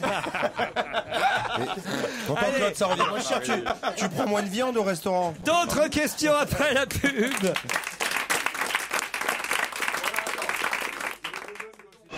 Europe 1, on va se gêner. Attention, voici le moment de découvrir qui se cache dans la loge d'honneur.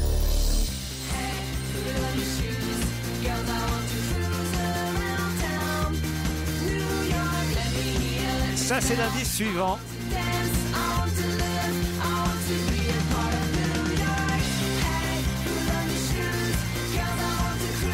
Ah, ça a l'air d'aider Christophe Beaugrand qui est en train de noter un nom sur un bout de papier.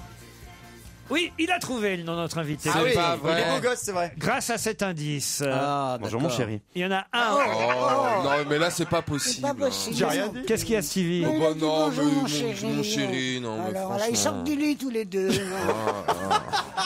Soap. Alors, évidemment, Gérard Miller propose un humoriste blond qui s'appellerait Arnaud de sa mère. Oui, hein. qui est très blond. hein, il est connu pour ça. Excusez-moi, je savais pas si blond était un bon indice. Oh, bah, non, non, moi je pensais que c'était un piège. Mais il y en Ah. a pas beaucoup des blonds en fait. Regardez, ou plutôt écoutez cet indice suivant. J'ai entendu des jeunes parler entre eux Trop de swag, elle était trop déter, elle voulait aussi su, mais je pouvais, j'avais pas de podcast. tu vois. et j'ai rien compris. Je me suis rendu compte que je les appelais des jeunes. Un dimanche, j'ai brunché. J'ai pris un taxi parce que j'avais la flemme de prendre le métro. J'ai trouvé qu'un jeu vidéo allait trop vite. J'ai acheté une théière et j'ai une marque de thé préférée. Je suis pas assez jeune pour la carte 12-25 et pas assez vieux pour la carte senior. J'ai acheté des boîtes pour ranger. Je mélange plus les couleurs quand je fais une machine et je comprends l'étiquette de mes pulls. Je suis déjà parti en vacances pour me reposer et j'ai utilisé le mot Une bougie est restée allumée. J'ai hésité à la souffler. Kairon l'a éteinte. Ça, normalement, ça doit aider mes camarades. Titoff, évidemment, a Ah. tout de suite, grâce à cet indice, très fort celui-là, identifié notre invité. Ils sont deux autour de la table. Gérard Miller. Est-ce est-ce que vous avez beaucoup été dans le pastiche? Euh, tu sors c'est les Marseillais C'est Charles Charles Pasqua. Et puis il colle beaucoup dans le Mais non, mais non. Chez Edgar Chimor. Là, je peux pas faire beaucoup mieux que l'indice que je viens de donner. Je hein. pense aussi, oui. Vous êtes d'accord, invité Ah ouais, ouais, ouais, ouais. Ah, alors, ça, c'est allons-y. bref, mais Oui, c'est pas le- C'était bref. Euh, Oui, mais ce n'est pas un nom de famille, bref. Non, mais de- donc, oui, j'imagine que c'est quelqu'un qui jouait. pas blond, le mec. Qui a joué dans. dans Non, il est dans la chauve, série. mais euh, il y en a un t'adresses autre. pas aux jeunes. Il n'y a pas qu'une personne. euh, Mais tu dans vois, Bref. ils connaissent pas la nouvelle génération. Ah non, mais. Gérard Miller, à rien. de toute façon, Gérard Miller, il est largué. Il connaît plus Karl Marx. Voilà, c'est moi. Ah ouais, il connaît plus les anciens, il connaît plus les nouveaux. Ah il, non, est, alors, il est paumé. Là, c'est fini. Karl Marx. Mais c'est moi, c'est moi, ça. Qu'est-ce qu'il y a, Claude j'ai tout oublié et je Mais ne toi, suis une plus excuse. l'actualité. Mais t'as fini de te rigoler, toi Non, mais c'est culot Non, mais qu'est-ce que ça veut dire, espèce de petit péteux? Tu te rends compte? Tu me ris au nez, tu, tu- tu es invité par nous, et tu me ris au nez Écoutez plutôt le dernier indice, l'indice 9, celui-là. Il a euh, une énergie, une générosité, un timing, un, un tempo comique euh, qui s'apprend pas ça. Dans les jeunes, on va dire qui, les jeunes qui montent et ceux qu'on voit apparaître, c'est, euh, c'est, je pense, le meilleur de sa génération. C'est Gad Elmaleh qui parle de notre invité. Ça, c'est des d'honneur. beaux compliments, hein. Hein, franchement, on peut pas faire mieux, Gérard. Non, c'est Et vrai. là, vous avez l'air euh, nul. Ah non, c'est vous avez terrible. l'air d'un vieux Mais ringard. oui, je- je- bon, pff. Quel Non, mais mauvais. c'est décevant quand même. Enfin, Quel mauvais. bah, c'est qui qui a le mieux bossé Tu t'as jamais gagné. là, En tu fait, manges vous êtes personne. nul au début, vous êtes nul à la fin. Heureusement qu'il y a le milieu, hein, Gérard. Eh, Ouais, tu, tu connais pas les jeunes. Mais je les- t'emmerde, toi, toi, t'allais pas tous me les tomber vieux, dessus, non Les vieux s'effacent de ta mémoire. Qu'est-ce qui Euh, reste de toi? Ça, c'est Non. qu'est-ce que Non, c'est pas juste. Ouais. Vous me dépeignez moi et pas ce petit. Ouais. Il est tout petit. Quel âge Il a 70 ans, même pas. Bon, alors, eh, excusez-nous, invité, hein, on s'est occupé de la vieille dame, maintenant on s'occupe de l'intello raté, et, et on revient à vous. Hein. Ah, Peut-être après le flash Bon, de allez. 18h en Christophe Beaugrand et Titoff, vous allez pouvoir me dire que l'invité d'honneur s'appelle Baptiste Le Caplin. Baptiste Le Caplin qui nous rejoint.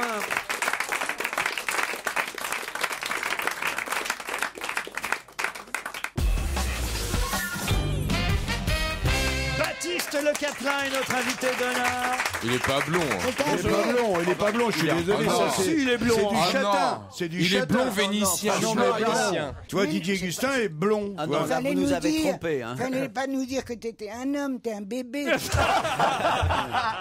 Mais ça regarde l'œil, là. C'est un bébé dans son berceau. Enfin, ouais, enfin, non, quel âge franchement. vous avez, Baptiste Je vais, j'ai 27 ans. 27 Oh, bah ans. Ah, dis donc, tu les fais pas. C'est gentil, merci. Ouais, ouais, c'est bien.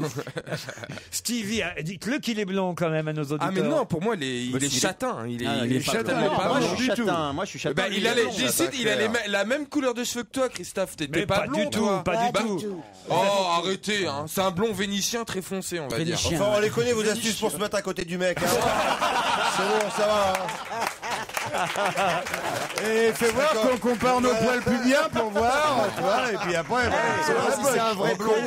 Baptiste Le Caplin est au Bataclan où il triomphe. Il prolonge ce soir et demain son spectacle au Bataclan. Combien vous en avez fait de Bataclan là? Euh, là, je vais en faire bah, du coup 30 et l'année dernière, euh, j'en avais fait 9. Et l'année euh, d'avant, tu peux aussi nous dire.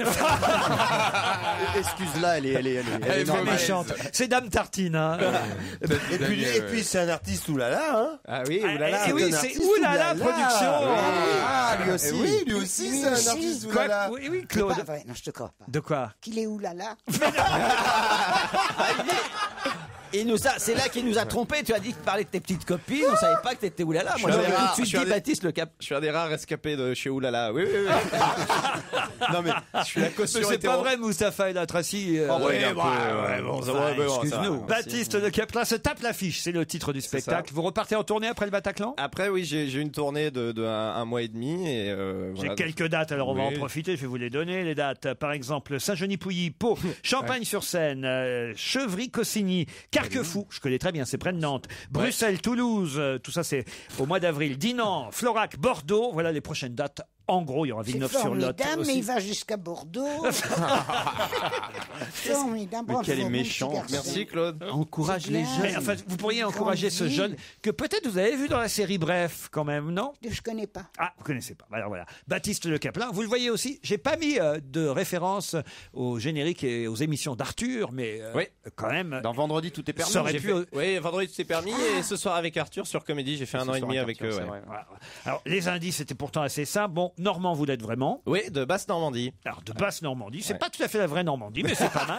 Oh, Ah bah non, non, vous non. êtes de quel département, vous Je suis de la Manche, euh, à, Ah, la côté, de, Manche. à côté du Mont-Saint-Michel. Voilà. Alors, c'est la Normandie. Qu'est-ce que Non, vous allez c'est- lui c'est- chercher La des vraie poux Normandie, c'est là où est notre patron. Excuse-nous. C'est le avant. Et puis il y avait deux chansons quand même du même film, certes. Et la première, c'était celle-là.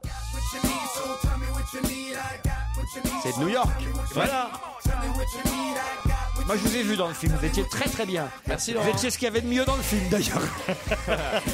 bah, merci. Non, mais c'est vrai, c'est vrai. Parce que vous voyez pour la première fois dans un grand. C'était mon, mon premier film, ouais, non mais moi c'était une expérience formidable, ouais, j'ai beaucoup aimé. Ça veut dire qu'il y a d'autres films qui vont. Oui, je vais tourner un prochain film, euh, un premier film de Benjamin Gage avec euh, Charlotte Lebon et Félix Moiti et Denis Ah. Podalides. Et euh, donc voilà, juste à, à la fin de ma tournée, je tourne ça et je suis. euh, C'est une belle affiche, dites donc. Oui, oui, c'est un très beau film. Oui, euh, Il faut qu'on explique quand même l'indice chanson Boîte de nuit story. Expliquez à mes camarades. Euh, parce que j'ai un sketch sur la sur la boîte de nuit, voilà, tout simplement euh, dans, dans mon spectacle et euh, je- j'en parle, j'en parle, voilà. Ah, vous ne le connaissiez pas, Baptiste Le Caplin, Claude Mais Sarraute non, comment veux-tu que je le connaisse? Un petit bébé qui vient de sortir. Mais non, il vient pas de sortir. Oui, mais moi, je traîne depuis 60 ans, 70 ans. Non, puis en ce moment, la télé, elle regarde que les documentaires animaliers avec des babouins. Donc. c'est vrai en plus. C'est vrai en plus. Gérard Tu, tu as Miller. déjà vu Bref. Ah non, j'ai déjà- j'ai découvert une émission. Touchez pas à mon, je sais pas quoi. À mon poste. À mon poste. Touche pas à mon poste. Touche pas Ah à bah mon lui, poste. c'était fidèle au poste. Ouais. Et, et c'est ça le générique d'ailleurs euh, qu'on a entendu tout à l'heure. Avec Bruno ce Guillon. soir. Vous étiez avec Cyril Hanouna. Euh, j'ai fait euh, mes premières émissions, c'était plié en quatre. euh, c'était Cyril Hanouna qui présentait. J'ai fait une autre émission avec lui qui s'appelait euh, euh, La porte ouverte à La toutes porte les ouverte à fenêtres. toutes les fenêtres, exact. Eh ben voilà, regarde comme je suis forte. Ouais, mais ça, ça, Ah, mais ça n'a rien à voir. en Ouais, fait. c'est rien à voir. Mais, mais euh, c'est pas grave. Mais et donc euh, oui, Cyril la présente sur. euh, mais, mais mais moi j'étais pas sur France 4 avec lui. Moi c'est Bruno Guillon qui a repris. J'ai prononcé un nom qui te dit quelque chose. Oui, d'accord. Donc c'est une façon pour moi de me de montrer que je te connais. D'accord, ok Claude, pardon. Contrairement à Gérard Miller qui euh, découvre Baptiste Le Pas Caplin. Bah écoutez, je suis désolé, j'ai pas trouvé, j'ai pas trouvé. On va pas non plus m'en vouloir chaque fois que je ne trouve pas. Quand même. Et C'est à vous, chaque fois, quoi. Stevie Bah moi c'est la couleur de cheveux franchement. Oui, Oh, alors non. franchement. Oh, bah non, regarde, je connais même quelqu'un qui est moins connu que toi, Alex Lutz. Il est quand même moins connu que, Oh, que, connu, Alex que- Lutz. que Baptiste. Ça Non, se c'est- vaut, La ça vraie se vaut. surprise, c'est Bigard. Quoi, Ça qui se ne- vaut.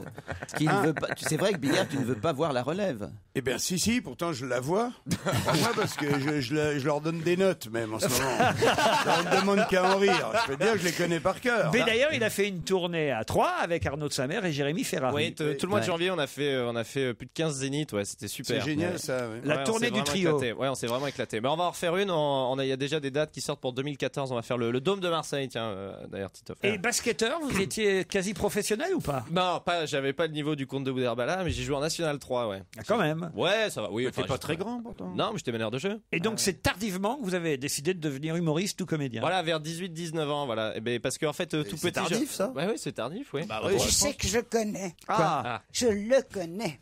Il a eu un mouvement de tête. Tu as fait de la télé. Ouais, ouais, ouais. Attention, le souffle revient. Remettez le casque. T'as- t'as- C'est c'est pas balèze, méchant, euh, c'est pas méchant, ça va. balèze Non, au c'est cluedo, hein. méchant. Ouais, C'est Et c'est au mouvement de tête que tu l'as Ah, reconnu. ouais, ouais, ouais. Ouais, parce que quand il bouge, hein, fais- Il a fait de la Pub pour L'Oréal, à la peut-être. télé. Avec toi dans ton école. Non, non, non, non, Dans non, ton non, pas école. chez moi, pas chez moi. Chez qui je t'ai vu, mon chéri Je t'ai vu. Chez Arthur, peut-être vous l'avez vu. Ouais, possible. Alors là, ça devait être un passant. Parce que... Donc, non, c'est- C'est sans pitié cet âge-là. Ah hein. oui, j'ai Ça vu. non, rend même pas compte qu'elle fait du Mais mal. je vous écoute beaucoup, hein. franchement. bah, je l'ai dit, euh, voilà, mais je vous écoute énormément en podcast le soir, tard, quand je joue à, la console. Je vous Et mets tu en. nous admires Bah oui, mais je connais tout. Comment ça se passe le restaurant près du lac Ça marche bien? Tu vois Ah. Il sait, il sait. Ah non, Tu il es connaît invité vraiment, aussi. hein. Ah ouais, non, je connais. non, J'écoute bien. Alors vous irez peut-être profiter des deux derniers soirs qu'il fait au Bataclan ce soir et demain vous prolongez. Oui, oui, j'ai prolongé de, de 4 dates, euh, voilà, et euh, c'est les prolongations, et puis il y aura le DVD qui sortira en, en fin d'année, euh, donc si vous voulez. Mais pas un album, non Pas de Non, bah non. chanteur Parce Non. que vous avez quand même une belle voix. je Non, trouve. non, je chante très très mal. J'ai C'est pas vrai les talents de chanteur de Christophe. Non, non. Mais c'est pourtant, pardon, mais avant de partir, puisque vous connaissez l'émission, et je sais que si je ne demandais pas à Stevie, vous seriez Comment déçu. Stevie Le quoi compliment. Buzz Stevie Le compliment de Stevie. Oh là, mais qu'est-ce que je peux vous dire moi, C'est un bon jeune homme? Non, c'est. Oh, Ah, ça commence Non, mais bien.